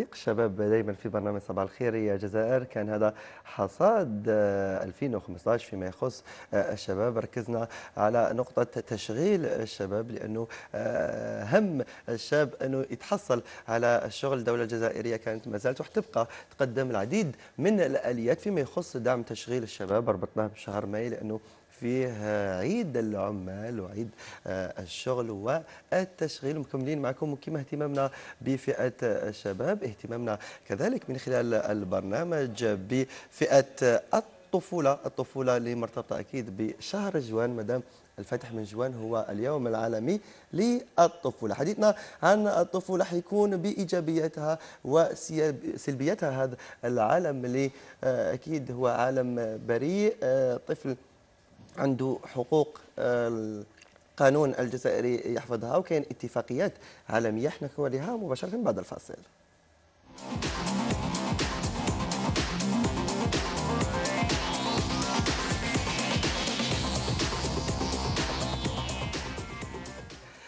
الطفولة سنة 2015 في الجزائر عرفت كذلك أفراح وعرفت أقراح ظاهرة جديدة ودخيلة على المجتمع الجزائري. أكيد ترفضها العادات والتقاليد يرفضها ديننا الحنيف ظاهرة اختطاف الأطفال. هذه الظاهرة السلبية شفناها في المجتمع الجزائري خلال سنة 2015 بالإضافة إلى أمور أخرى إيجابية تحكي لها مريم علام اللي تقدمنا دائما مواضيع خاصة بالطفولة.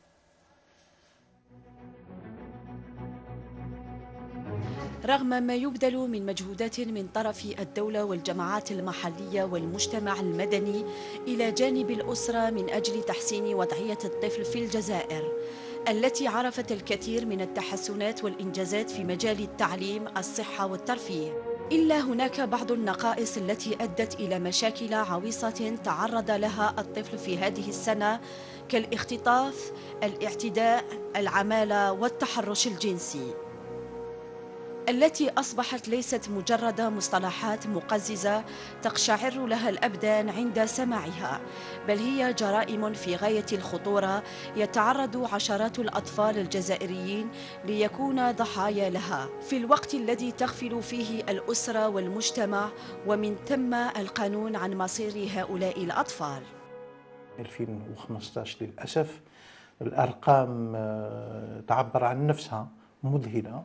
يعني أكثر من 7000 آه، طفل آه، تم تقديمه أمام العدالة اللي كانوا بين 13 سنة إلى 18 سنة كمتهمين. أكثر من 1076 طفل آه، هو في خطر معنوي يعني عايش في الشارع بدون سند عائلي ويتعرض إلى المضايقات والمشاكل. نتكلم عن الانتهاكات الجنسية اللي تجاوزت 9000 حالة ضحية. بين الدعارة بين آه، واسمه لانسيست يعني زنا المحارم أو آه، ملامسات إلى آخره من الأشياء اللي يتعرض لها الأطفال في الاعتداءات الجنسية. يا إما في الوسط العائلي ولا خارج الوسط العائلي تاعو للأسف. هذه الأرقام وفيها أرقام أخرى لتمش فئات أخرى. طبعا آه، ندق ناقوس الخطر في كل موعد في كل مناسبة بأنه لازم نعجل بالحلول الجوهرية.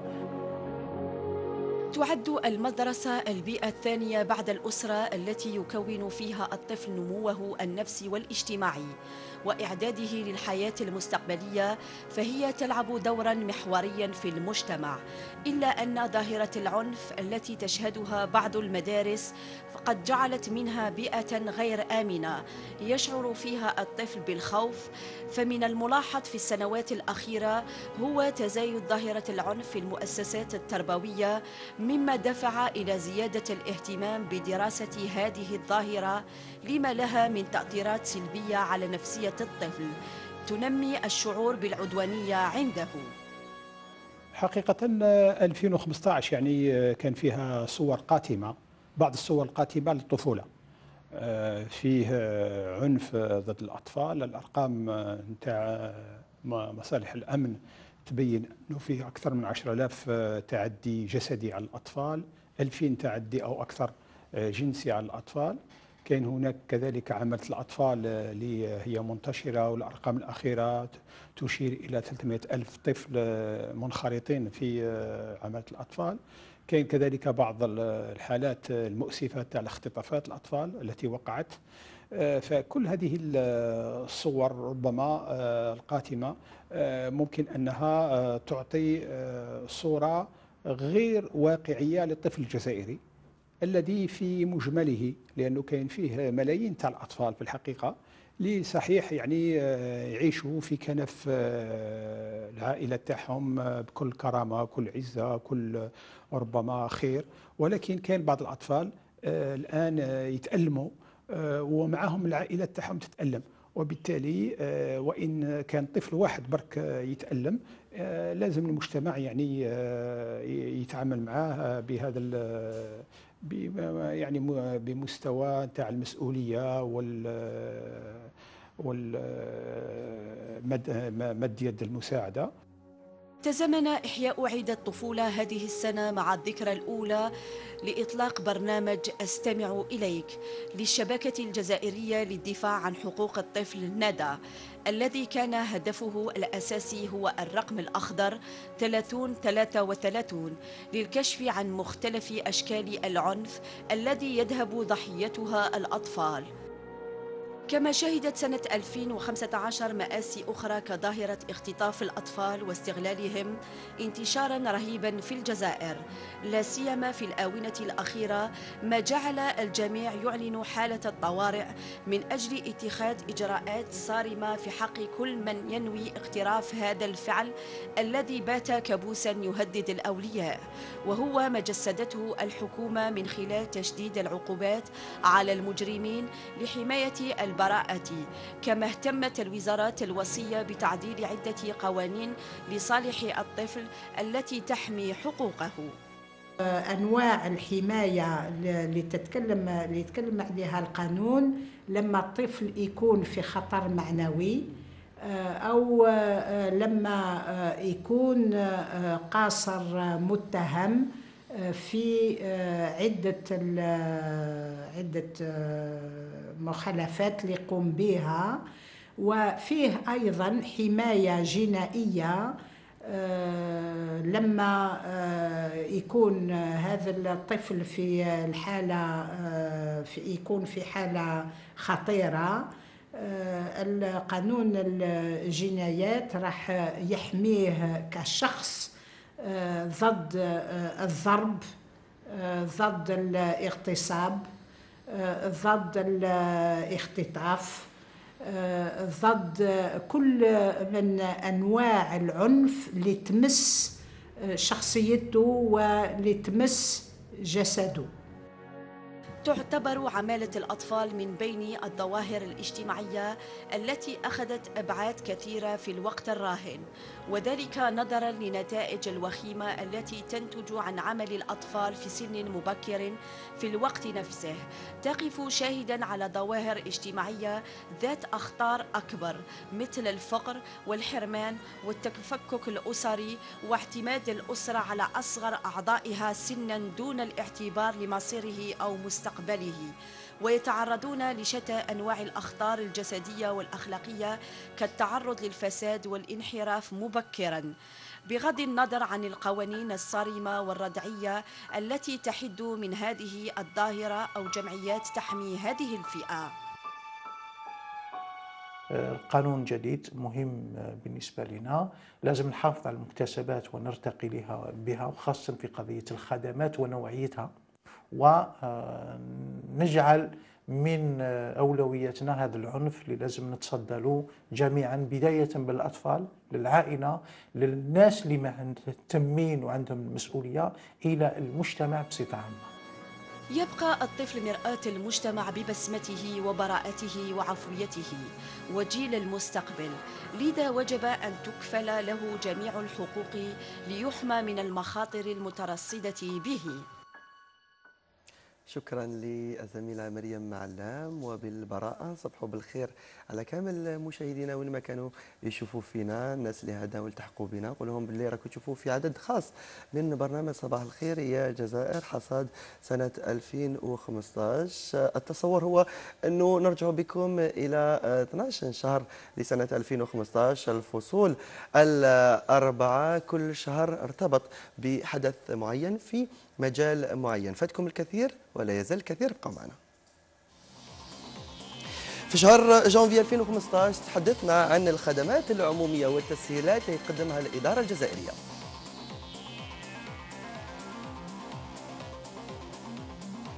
في شهر فيفري 2015 حديثنا كان حول دورة فيفري في قطاع التكوين والتعليم المهنيين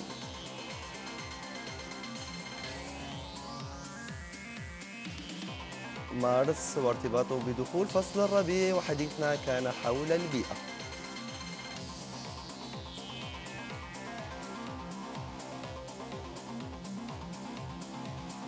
خلال أبريل 2015 الحدث الأبرز كان حدث ثقافي وهو افتتاح تظاهرة قسنطين عاصمة للثقافة العربية.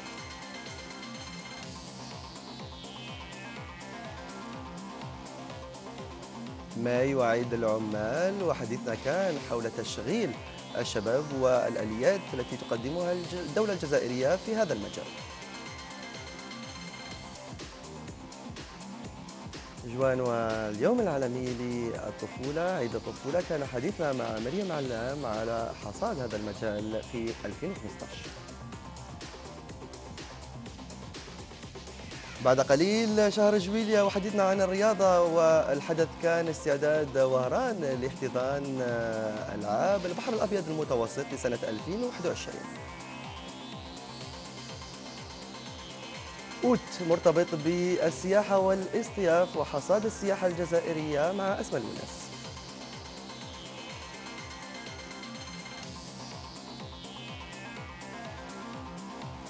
سبتمبر هو الدخول الاجتماعي وحديثنا حيكون حول جديد قطاع التربية والتعليم.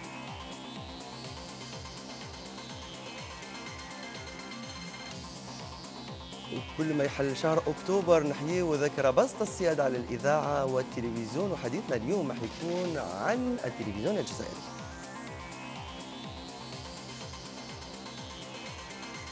ونوفمبر في الجزائر ونوفمبر الحرية والحدث كان اختتام آه، ستينية الثورة التحريرية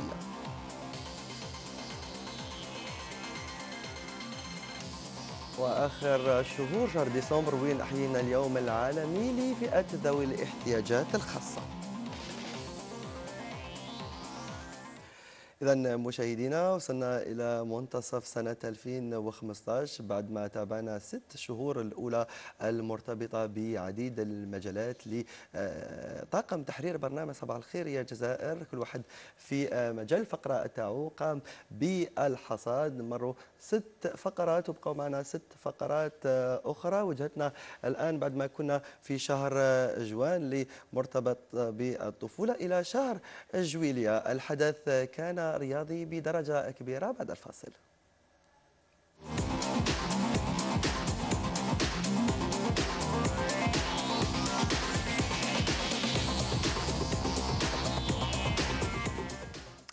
خلال سنة 2015 في شهر جويليا كانت هناك حملة واسعة النطاق لتشجيع ومساندة وهران لاحتضانها لتظاهرة رياضية كبيرة ستكون. سنة 2021 التظاهرة هي ألعاب البحر الأبيض المتوسط. وهران فازت بهذه آه، التظاهرة وين راح يتم احتضانها بعد ما قدمت ملف قوي آه، بحجج قوية تخليها وتأهلها أنها تحتضن حدث رياضي بهذا المستوى بالإضافة إلى أحداث رياضية عشناها سنة 2015 يجمع هنا يوسف يحيى.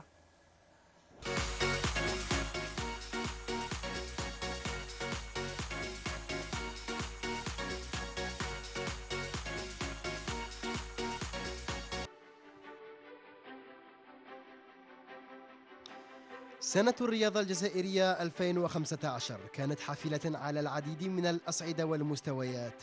12 شهرا مرت وبصمت عبرها الرياضة الجزائرية. على حضور كان مميزا في العديد من المحافل والمواعيد الوطنية منها وحتى القارية والدولية. سنة الجزائر الرياضية تميزت بإعادة الاعتبار لمدينة وهران على المستوى الدولي بفوزها بشرف تنظيم الألعاب المتوسطية صيف 2021 في شهر جويليا الماضي. موعد عاد تنظيمه للجزائر بعد سنوات من الغياب ليشكل تحد آخر للرياضة الجزائرية أفرادا ومنشآت الرياضة الأكثر شعبية في الجزائر. ميزها هذه السنة تتويج مولودية بجاية بلقب كأس الجمهورية في موسم استثنائي للموب بينما سيطر وفاق سطيف على البطولة الوطنية بتتويجه باللقب وضمانه المشاركة القارية سنة 2016 في أغلى منافسة إفريقية للأندية وهو الموعد الذي عرف تألق اتحاد الجزائر في الطبعة الماضية بوصوله لنهائي سنة 2015 عن جدارة واستحقاق. سنة ميزها عبور الخضر إلى الدورة التصفوية الأخيرة المؤهلة لنهائية كأس العالم 2018 المزمع إجراؤها بروسيا في انتظار التعرف على مجموعة المنتخب الوطني التصفوية. في القرعة المزمع إجراؤها شهر جوان القادم ليختتم أولمبيو الخضر السنة باختطاع أغلى تأشيرة للأولمبياد والمنتظر إجراؤها بالبرازيل الصائفة القادمة بتألقهم الغير متوقع ووصولهم إلى نهائي كان أقل من 23 سنة بالسنغال. سنة 2015 ميزها تأهل العديد من الرياضيين الجزائريين إلى الألعاب الأولمبية بريو دي جانيرو البرازيلية السنة القادمة. فكان تألق الملاحين الجزائريين في بطولة إفريقيا للشراع والتي نظمت بالجزائر وضمانهم لمكانة في الأولمبياد القادم ولأول مرة في تاريخ المشاركة الجزائرية الحدث الأبرز. وعلى صعيد الرياضات الجماعية يواصل المنتخب الوطني لكرة اليد تحضيراته لكأس إفريقيا المنتظرة شهر جونفي القادم بمصر على أمل الحفاظ على اللقب الإفريقي المحصل عليه سنة 2014 عساكير الخضر فجروا سنة 2015 من كوريا الجنوبية بتتويجهم باللقب العالمي في كرة القدم للمرة الثانية على التوالي بعدما نجح أشبل المدرب عبد الرحمن مهداوي في وضع نجمة أخرى عقب تلك التي خطفها المنتخب الوطني العسكري في البرازيل. ولا يمكن الحديث عن رياضة الجزائر في 2015 دون الوقوف وقفة عرفان وتقدير لفئة لطالما رفعت الراية الوطنية طيلة سنوات مضت. ذوي الاحتياجات الخاصة بصموا على حضورهم القوي والمميز في الألعاب العالمية بقطر بحصيلة مميزة من أرقام قياسية وذهب وفضة وبرونز كما صنع تتويج المنتخبين الوطني لكرة السلة ذكور وإناث بكأس إفريقيا لكرة السلة على الكراسي المتحركة. الحدث رافعين العلم الوطني عن جدارة واستحقاق سنة 2015 فتحية تقدير وعرفان للرياضيين الجزائريين عموما ولذوي الاحتياجات الخاصة بصفة خاصة.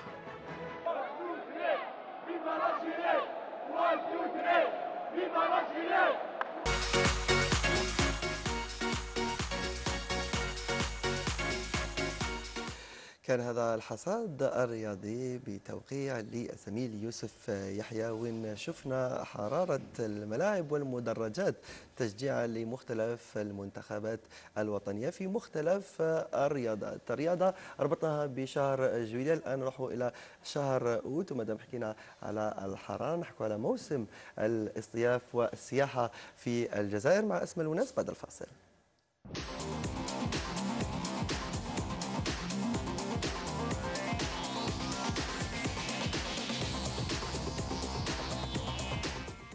ونرحبوا بدليلنا السياحي في كل مرة في برنامج صباح الخير يا جزائر. القائد تاعنا والكابتن أسماء صباح الخير. شكرا صباح الخير محسن. كل عام وأنت بخير. عام سعيد إن شاء الله. إن شاء الله ليك وكامل الأهل. والأحباب. نفتحوا قوسين فقط. زملاء يقول لك كي لابسك شغل كي دخلت تقرأي. واليوم يصادف إنه الفصل الثاني يعني دخول المدرسة. ومع بداية ربما الفصل الثاني نتمنى التوفيق لكل التلاميذ. ونقول صباح الخير لكل مشاهدينا الكرام. ونتمنى لهم عام سعيد وموفق. اليوم الوجهة ستكون إلى حوصلة حول السياحة في الجزائر التي عرفت عدة ملتقيات وصالونات دولية ووطنية وهو ما يزيد من تدعيم وزياده ربما نشاط السياحة في الجزائر. نتعرف على كل النشاطات التي ميزت العام من خلال الموضوع ثم نعود للتفصيل.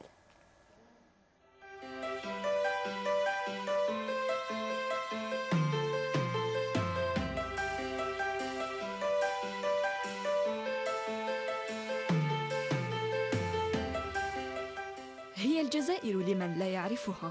هي البلد القارة المتميز بمناطقه السياحية الرائعة وبتقاليده الحية. 2015 سنة تعتبر مسرحا لأحداث سياحية جزائرية وطنية ودولية زادت من أهمية القطاع ومساهمته في اقتصاد الجزائر. الانطلاقة كانت بتنظيم الصالون الدولي للتجهيزات والخدمات الخاصة بالفنادق والمطاعم للمرة التاسعة من الثالث عشر إلى الخامس عشر جانفي. أين جمع بين سبعين عارض للمصنعين والموزعين للعلامات التجارية الناشطة في المهن المعنية بالقطاع قصد تحسين وخلق علاقة تعاون بين المستثمرين وزوار المعرض؟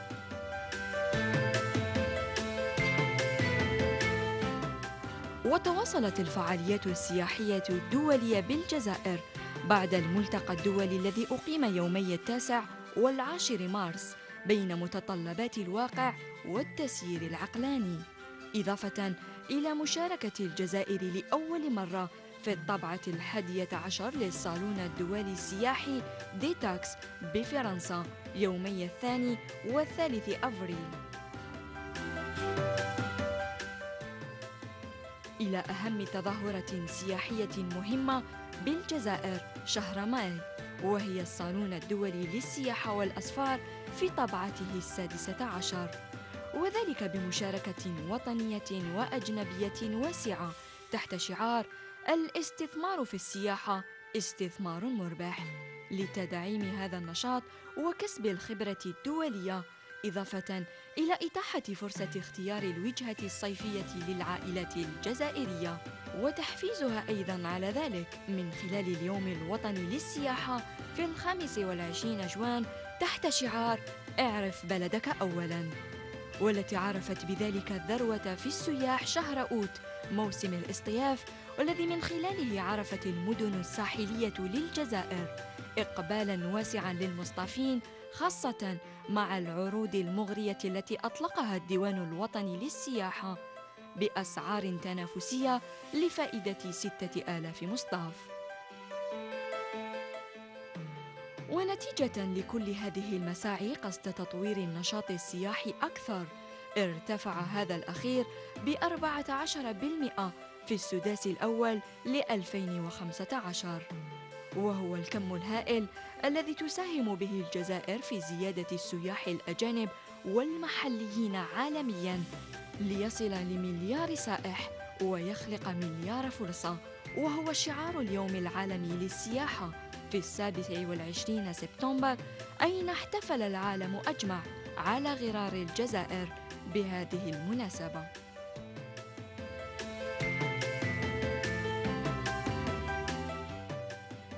مهم آخر حققته السياحة بالجزائر في أكتوبر 2015 بافتتاح الصالون الدولي للصناعة التقليدية في طبعته العشرين والذي تميز بمشروع استعمال اللباس والديكور التقليدي على مستوى فضاءات الاستقبال بالمطار والموانئ وحتى الفنادق والذي يهدف لتحسيس الحرفيين بضرورة تحسين المنتوج الحرفي والارتقاء به لمستوى التنافسية بالأسواق الدولية وهو ما يبرر شعار السنة الصناعة التقليدية شريك في التنمية المستدامة.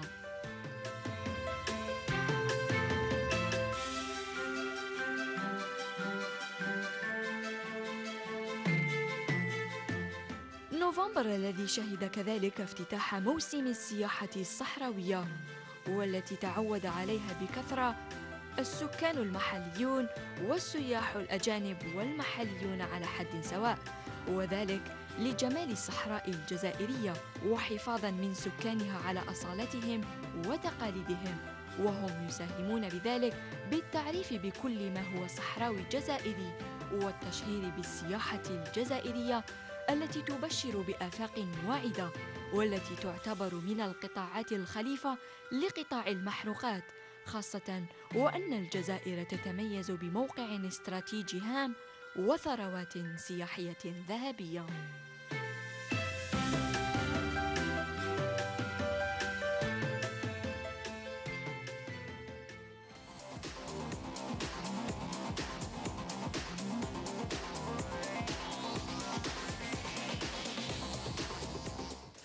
معكم دائما مشاهدينا في هذا العدد الخاص من برنامج صباح الخير يا جزائر. تعيشوا معنا الفصول الأربعة وصلنا إلى شهر أوت لكن صح أنه سياحة تنتعش في الصيف لكن في الجزائر بشكل خاص على طيلة الفصول كاين هناك سياحة في بلادنا. صحيح يا محسن كما كنت شفت الآن في الموضوع في كل شهر تميز ربما بملتقى ولا بصالون دولي ولكن أهم الصالونات التي كانت دولية منها الصالون الدولي للسياحة والأسفار الذي جاء في طبعته السادسة عشر تحت شعار الاستثمار في السياحة استثمار مربح وذلك لتشجيع ربما المستثمرين الخواص قصد ربما تغلغل أكثر في قطاع السياحة وزيادة كافة البنى التحتية التي تساهم في زيادة السياح في موسم الاصطياف الذي كان فيه كذلك ربما عدة عروض آه، عروض مغرية وأسعار تنافسية كذلك من طرف الديوان الوطني للسياحة التي كانت مست 6000 مصطاف ولذلك عرفت ذروة في السياح في موسم الاصطياف. كذلك ربما اليوم الوطني للسياحة الذي جاء تحت شعار اعرف بلدك أولا يساهم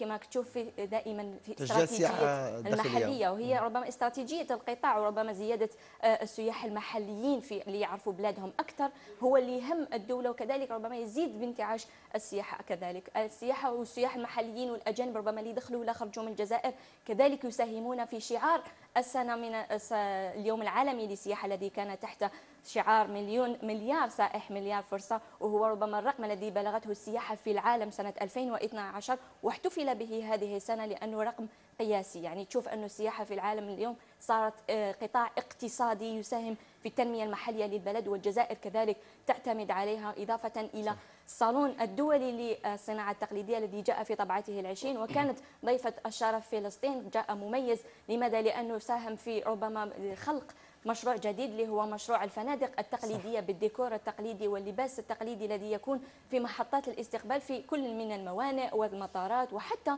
الفنادق وهذا يساهم كذلك في تشجيع الحرفيين على تحسين الصناعة التقليدية إضافة ربما اختتمنا بالسياحة الصحراوية التي تعرف ذروتها في هذا الموسم. نتمنى إن شاء الله الجزائريين يعرفوا بلادهم لأنه ربما بلد متميز جدا. صح يعطيك الصحة أسماء أكيد ترويجنا من خلال البرنامج للسياحة متواصل معك في فقرة سياحة وأصفار وخاصة التركيز على الموسم السياحي. تروحي الصحراء ولا تبقي هنا ديري المواضيع؟ نروح نروح كامل كيف كيف.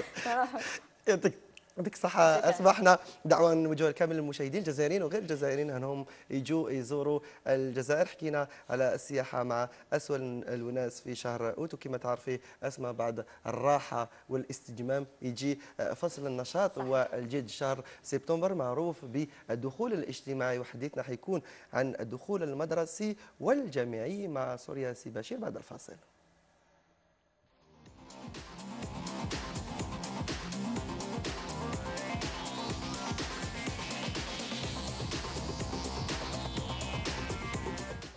التربية والتعليم قطاع مهم جدا عرف العديد من الأمور الجديدة خلال سنة 2015 اليوم مشاهدينا يعيشوا أول أيام الفصل الثاني. نرجع مع الزميلة سوريا سيلبشير إلى الدخول المدرسي اللي كان في سبتمبر 2015 وقبلها خلال جوان وجوي نتائج المسابقات المهمة في هذا الموضوع. بعد العجز والتأخر الذي شهده قطاع التربية والتعليم في السنوات الأخيرة بسبب الحركة الاحتجاجية لنقابات القطاع عرف هذا الأخير تقلبات عدة سنة 2015 فكانت سنة موافقة بإصلاحات تاريخية بعد التوقيع على ميثاق أخلاقيات النظام التربوي. اتفاق جمع تسع نقابات مع الوزارة. هدفه ضمان استقرار القطاع.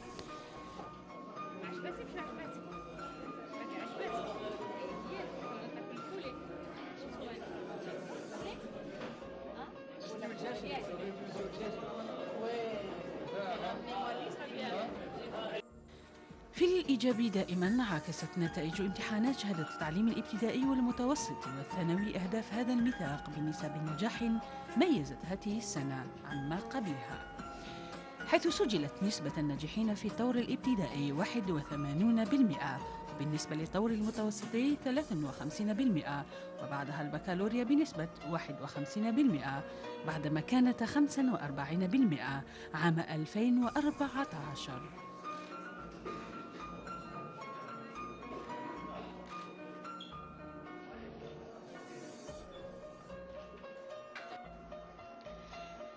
2004 هو عدد الأساتذة في الأطوار الثلاث الذين تم تكوينهم من طرف المحافظة السامية للأمازيغية محاولة للاستجابة لأحد أهم مشاريع وزارة التربية بتوسيع نطاق تعليم الأمازيغية إلى 23 ولاية بعدما كانت 11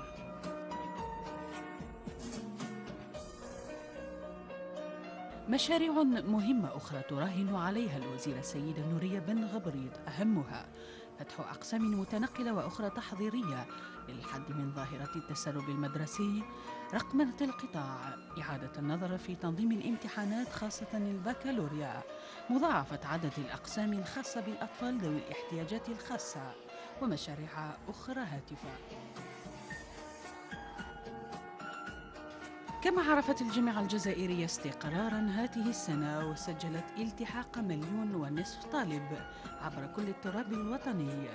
وفي المقابل استقبلت الإقامات الجامعية هؤلاء بخمسين ألف سرير إضافي لهذه السنة. سنة تزعم الوزارة الوصية أن تكون مثمرة لجميع الشركاء بما في ذلك الأساتذة والطلبة والوصاية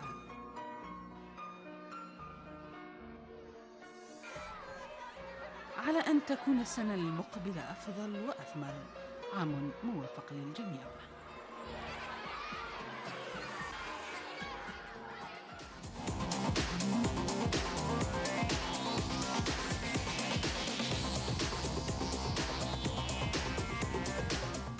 عام موفق للجميع. كما قالت سوريا الباشي نتمناو موسم دراسي موفق. إن كان في آه، المدارس تاعنا ولا في الجامعات.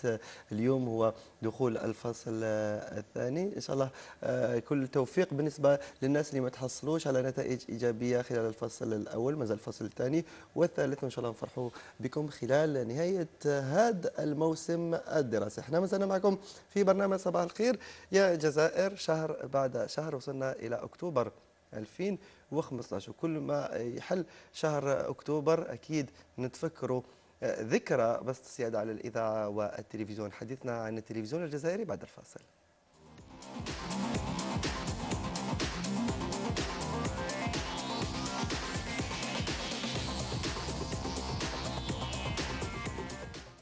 التلفزيون الجزائري الإعلام الثقيل المرئي في الجزائر كان ما زال وراح يبقى يقدم خدمة عمومية للمشاهد داخل وخارج الوطن. التلفزيون الجزائري بالخمس قنوات يقدم خدمة جوارية مع محطاته الجهوية. إمكانيات وتقنيات آه، هائلة. كذلك استثمار في العامل البشري من خلال الدورات التكوينية. حديثنا عن التلفزيون الجزائري حيكون من خلال هذه الورقة للزميل يوسف حميد.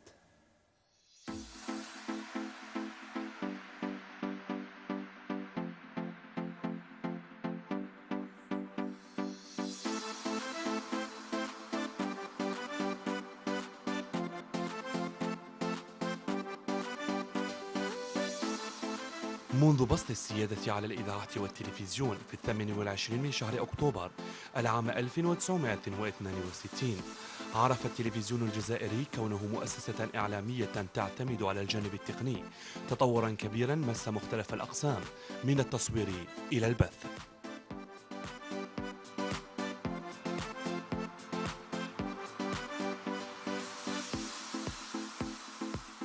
بدأ التلفزيون عملية عصرنة نوعية جعلته ينتقل إلى مراحل متقدمة مستفيدا من كل الخبرات الوطنية المؤهلة ومن التجارب التلفزيونية العالمية.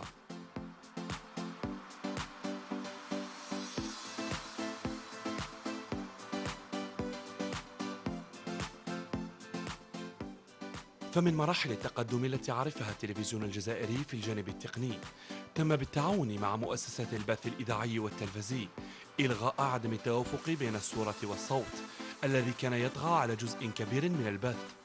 ربط مركز الإنتاج مع المبنى التلفزيون بالألياف البصرية. الرفع من مساحات وفضاءات الإنتاج. بالإضافة إلى بناء مختلف الأستوديوهات الرقمية الجديدة في كل من القناة الأرضية. كان ومركز الإنتاج.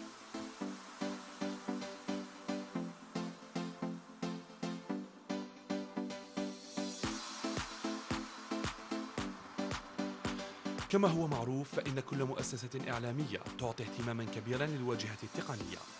فكل مادة إعلامية تبث عبر قنواته الخمس بحاجة إلى إعطائها صورة نهائية عن طريق التركيب الذي يتم في ثلاث مراكز للتركيب بما فيها.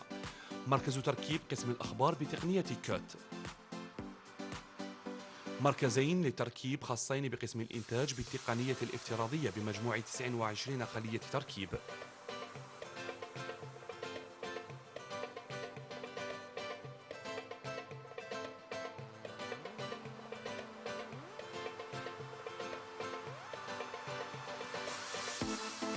من الإمكانية التقنية للتلفزيون الجزائري. إمكانيات تندرج ضمن قسم البث والإرسال الذي عرف بدوره تطورا كبيرا من حيث الإمكانيات المستخدمة.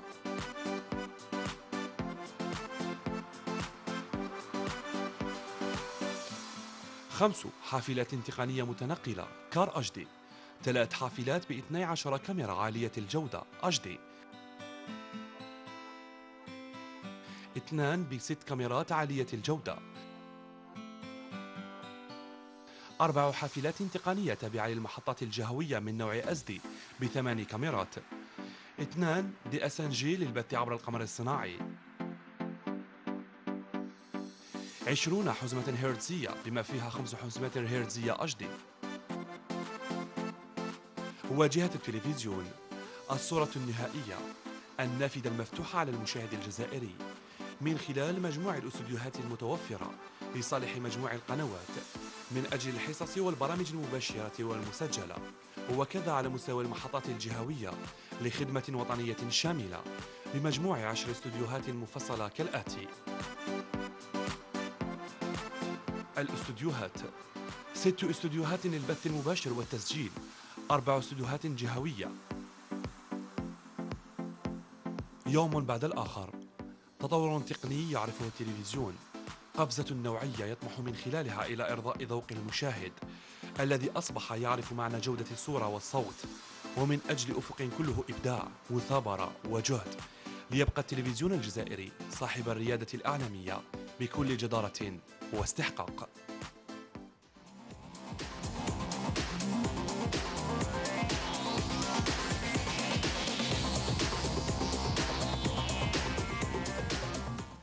شكرا للزميل يوسف حميد. خلال أكتوبر 2015 أحيينا الذكرى 53 لبسط السيادة على الإذاعة والتلفزيون وأيام قليلة بعدها أحيينا ذكرى اندلاع الثورة التحريرية. حديثنا في شهر نوفمبر عن اختتام ستينية الثورة التحريرية بعد الفاصل.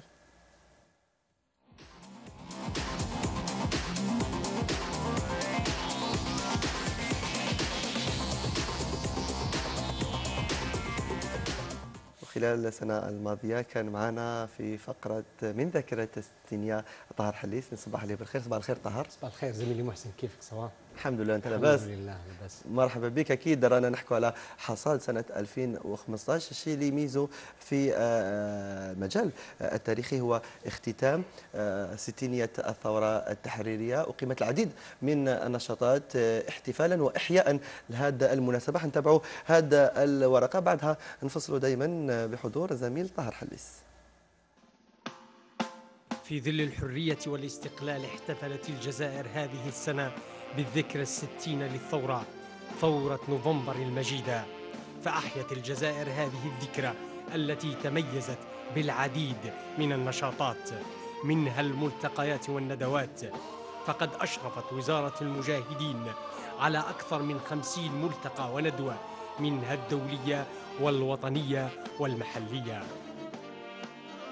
كما تميزت الاحتفالات بستينية الثورة بالتوثيق السمعي البصري فأنجزت العديد من الأفلام التاريخية والأشرطة الوثائقية.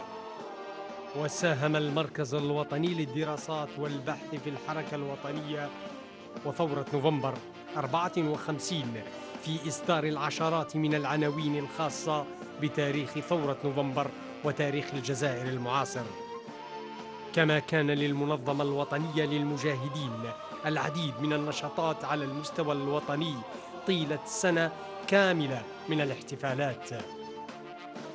وفي إطار حماية مآثر الثورة تم في هذه السنة ترميم وإعادة بناء العديد من مقابر الشهداء وترميم مراكز التعذيب لتبقى شاهدة عبر الأجيال على همجية فرنسا الاستعمارية. وفي ستينية الثورة كان المتحف الوطني للمجاهد حاضرا ومع الحدث في إحياء الذاكرة التاريخية من خلال الندوات والملتقيات العديدة. كما لعبت الحركة الجمعوية دورا بارزا في إحياء الاحتفالات المخلدة لستينية الثورة من خلال نشاطاتها عبر كامل التراب الوطني.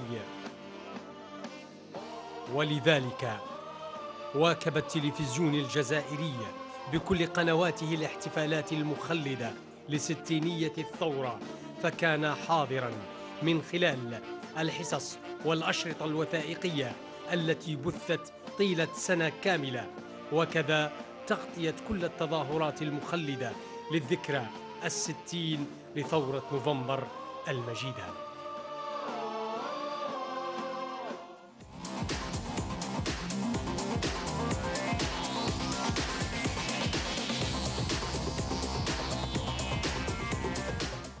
تابعنا معكم مشاهدينا حصاد آه، الستينية من خلال هذا الورقة وأكيد راح نفصلوا فيها بشكل آه، أكبر مع آه، طاهر طاهر خلال السنة الماضية. عرفنا العديد من تظاهرات إحياء للمناسبة طبعا زميلي محسن هذه الذكرى الستينية الثورة كانت قبل دخول جون في 2015 كانت بتشكيل اللجنة الوطنية اللي تحت اللي أشرفت عليها وزارة المجاهدين وكانت هذه اللجنة نشاطاتها تحت الرعاية السامية لفخامة رئيس الجمهورية. ال- العمل بدأ من نوفمبر 2014 كان الافتتاح وكانت بداية الندوات. ما يميز هذا هذا هذا النشاط الاحتفالي بالذكرى الستين للثورة هو العديد من الملتقيات الدولية مثل ملتقى أصدقاء الجزائر الذي آه، أشرفت عليه وزارة المجاهدين في أكتوبر 2014 في في عين الدفلة وكان حضرته أكثر من 15 دولة. أصدقاء للثورة الجزائرية كانت شهاداتهم سجلت ودونت وهذا بحضور طلبة وأساتذة التاريخ. هذا الملتقى زود الطلبة بالكثير من جوانب تاريخ الثورة اللي كانوا مش معروفة. كانت كذلك كانت الملتقيات الوطنية. الملتقيات الوطنية طبعا أشرفت عليها وزارة المجاهدين في العديد من الولايات وكانت كلها هذه الملتقيات دونت وأصدرت في كتيبات لتبقى للمكتبة التاريخية الجزائرية. في الجانب الملتقيات كذلك كانت ملتقيات محلية على مستوى الولايات وأشرفت وزارة المجاهدين على العديد منها أكثر من 54 ملتقى محلي تم داخل الولايات للتعريف بمآثر وتاريخ تلك الولاية والمعارك التي حدثت. طبعا آه، التلفزيون كان واكب هذه الأحداث وركن ذاكرة الستينية آه، اللي أشرف عليه طاقم الصباحيات كان يواكب هذه الأحداث وفي نفس الوقت كان لنا العديد من آه، التغطيات وكان لنا كذلك حياة المجاهدين والكثير من المعارك الغير معروفة وضحناها وعرفناها للتلفزيون عن طريق التلفزيون. من جهة أخرى جانب آخر من هذا كانت كذلك الإصدارات. وهذا الفضل الكبير يعود للمركز الوطني للحركة الوطنية وثورة أول نوفمبر 1954 أكثر من 160 إصدار زميلي محسن تم طبعها. هذه الإصدارات الآن هي موجودة على مستوى المكتبات الوطنية والمكتبات التاريخية وهي بين أيادي الطلبة الباحثين في هذا المجال. كذلك نعود لجانب مهم جدا واللي واللي أخذ باعه في هذه السنة وهو الأفلام والأشرطة الوثائقية. الأفلام بالنسبة للأفلام الطويلة واللي كانت تحت رعاية سامية لفخامه رئيس الجمهورية لطفي الشهيد لطفي الشهيد كريم بالقاسم ال- ال- ال- زبانة. كل هذه الأفلام كانت أنتجت بمناسبة ستينية الثورة، كذلك المركز أنتج أكثر من 45 وثائقي شريط وثائقي حول أهم أحداث الثورة عبر كامل التراب الوطني. ال- ال- ال- كذلك شيء اللي اللي لمسته أنا كصحفي ومهتم بهذا الجانب أن هناك صيانة الذاكرة التاريخية من خلال ترميم المقابر في هذه السنة صح. أكثر من 60 مقبرة إعادة ترميمها هذه المقابر لتب لتبقى شاهدة على الاستعمار لتبقى شاهدة لأن هذا دليل مادي مرئي للطلبة لجيل اليوم. اللي ما يعرفش التاريخ كثيرا يقدر لما يشوف هذه المقابر هذه مراكز التعذيب العديد منها مثل مركز آه، آه، الطير بسطيف مركز الرحابي بباتنا العديد من المراكز التي اعادت وزارة المجاهدين ترميمها. دون أن ننسى انه أنه لم تكن وزارة المجاهد- المجاهدين وحدها في هذا المجال، كان المتحف الوطني للجيش، كان المتحف الوطني للمجاهد، كذلك كانت كان المجتمع المدني من خلال مثلا جمعية مشعل الشهيد اللي في منتدى المجاهد أحيت العديد من آه، من مآثر الثورة وكذا كرمت الكثير من المجاهدين. كل هذه الأحداث كانت خلال الستينية والستينية. أقول لك زميلي محسن لقد أطرت وبدت ملامح مدرسة تاريخية جزائرية آه، مختصة في التاريخ. نحن كنا نتبع مناهج والحمد لله اليوم من خلال هذه الأعمال ستكون للجزائر مدرسة تاريخية. خاصة بها. وشكرا زميلي محسن أنا نشكرك بزاف طاهر على كل المواضيع والتغطيات اللي كانت خاصة للبرنامج. وكما برنامج صباح الخير يا الجزائر يحيي المناسبات الوطنية يحيي كذلك المناسبات العالمية. وصلنا إلى آخر الشهور إلى شهر ديسمبر وين أحيت الجزائر على غرار دول العالم اليوم العالمي لفئة ذوي الاحتياجات الخاصة. هذه اللي لطالما قدمتنا دروس في الإصرار والتحدي للوصول إلى الهدف.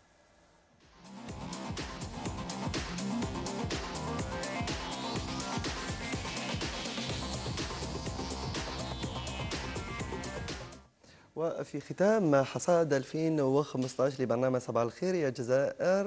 ضربنا آه، إطلال على مختلف الفئات الشباب آه، الطفولة والآن إلى فئة ذوي الاحتياجات آه، الخاصة انشغالاتهم همومهم وطموحاتهم. في هذه الورقة لمريم صحراوي.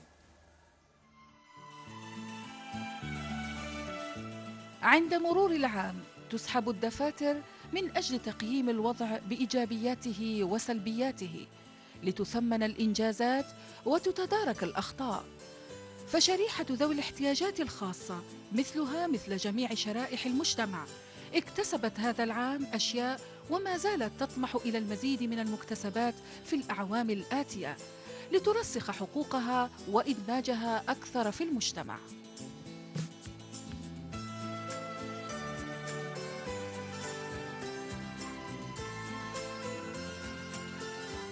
فعلى الصعيد الخدماتي حازت شريحة ذوي الاحتياجات الخاصة على تسهيلات في النقل كخدمة مرحبا المبادرة الجميلة التي قامت بها الخطوط الجوية الجزائرية من حيث الاستقبال والركوب للمعاق.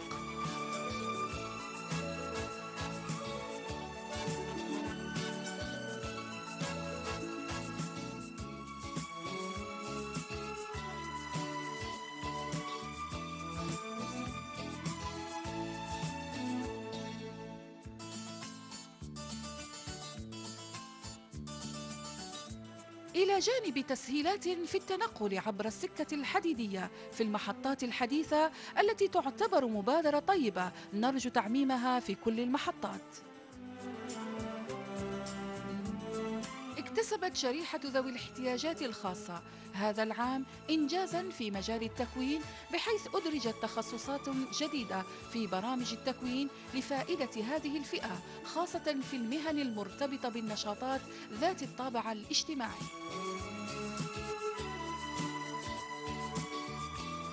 كما تدعم القطاع التعليمي بتوقيع ميثاق تعميم التعليم الحضري ورفع عدد الأقسام لذوي الاحتياجات الخاصة بما يسمى الأقسام المدمجة. عرفت الرياضة لذوي الاحتياجات الخاصة بمختلف أنواعها نتائج مرضية حيث أحرزت على ميداليات هامة في الأولمبياد والألعاب العالمية. إلى جانب كل هذه الإنجازات لم تغفل وزارة السكن ظروف شريحة المعاقين إذ أصدرت تعليم لديوان الترقية والتسيير العقاري في إنجاز سكنات تخضع لمقاييس تتجاوب وأوضاعهم.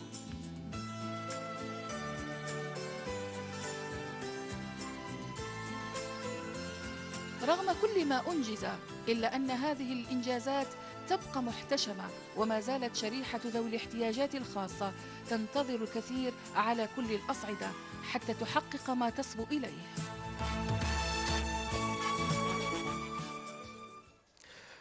وبهذه الورقة لزميلة مريم صحراوي كنا وصلنا إلى آخر شهر وآخر آه، محطة في حصاد 2015 لبرنامج صباح الخير. يا جزائر قبل ما نخلوكم نفكركم بأهم المواضيع كيفاش ربطنا كل شهر بفقرة لأنه كل شهر خلال سنة 2015 ارتبط بحدث معين في مجال معين.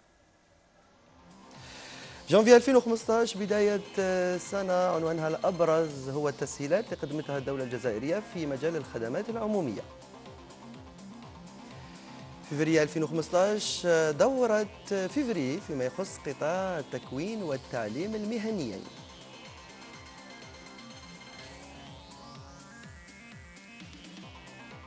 مارس ودخول فصل الربيع وحديثنا فيه كان عن البيئة.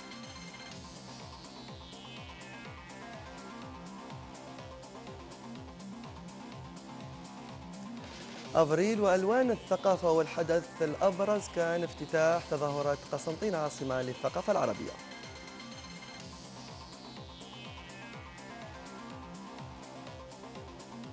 ماي وعيد العمال وحديثنا كان عن الشغل والتشغيل فيما يخص الشباب واليات دعم الدولة فيما يخص تشغيل الشباب.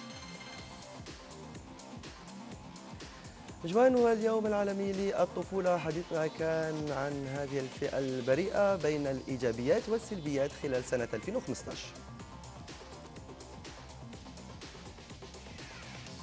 جويليا والحدث الرياضي استعداد وهران لاحتضان الألعاب المتوسطية خلال سنة 2021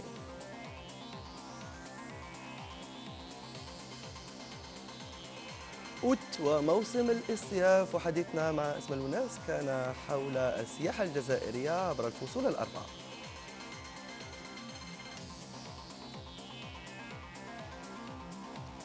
سبتمبر والدخول الاجتماعي. وحديثنا فيه كان عن جديد قطاع التربية والتعليم.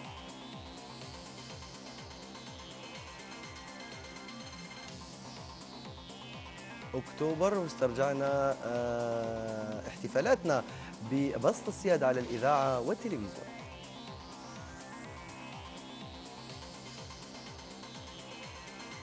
وفي نوفمبر 2015 التظاهرة آه، الأبرز هي اختتام ستينيات الثورة التحريرية.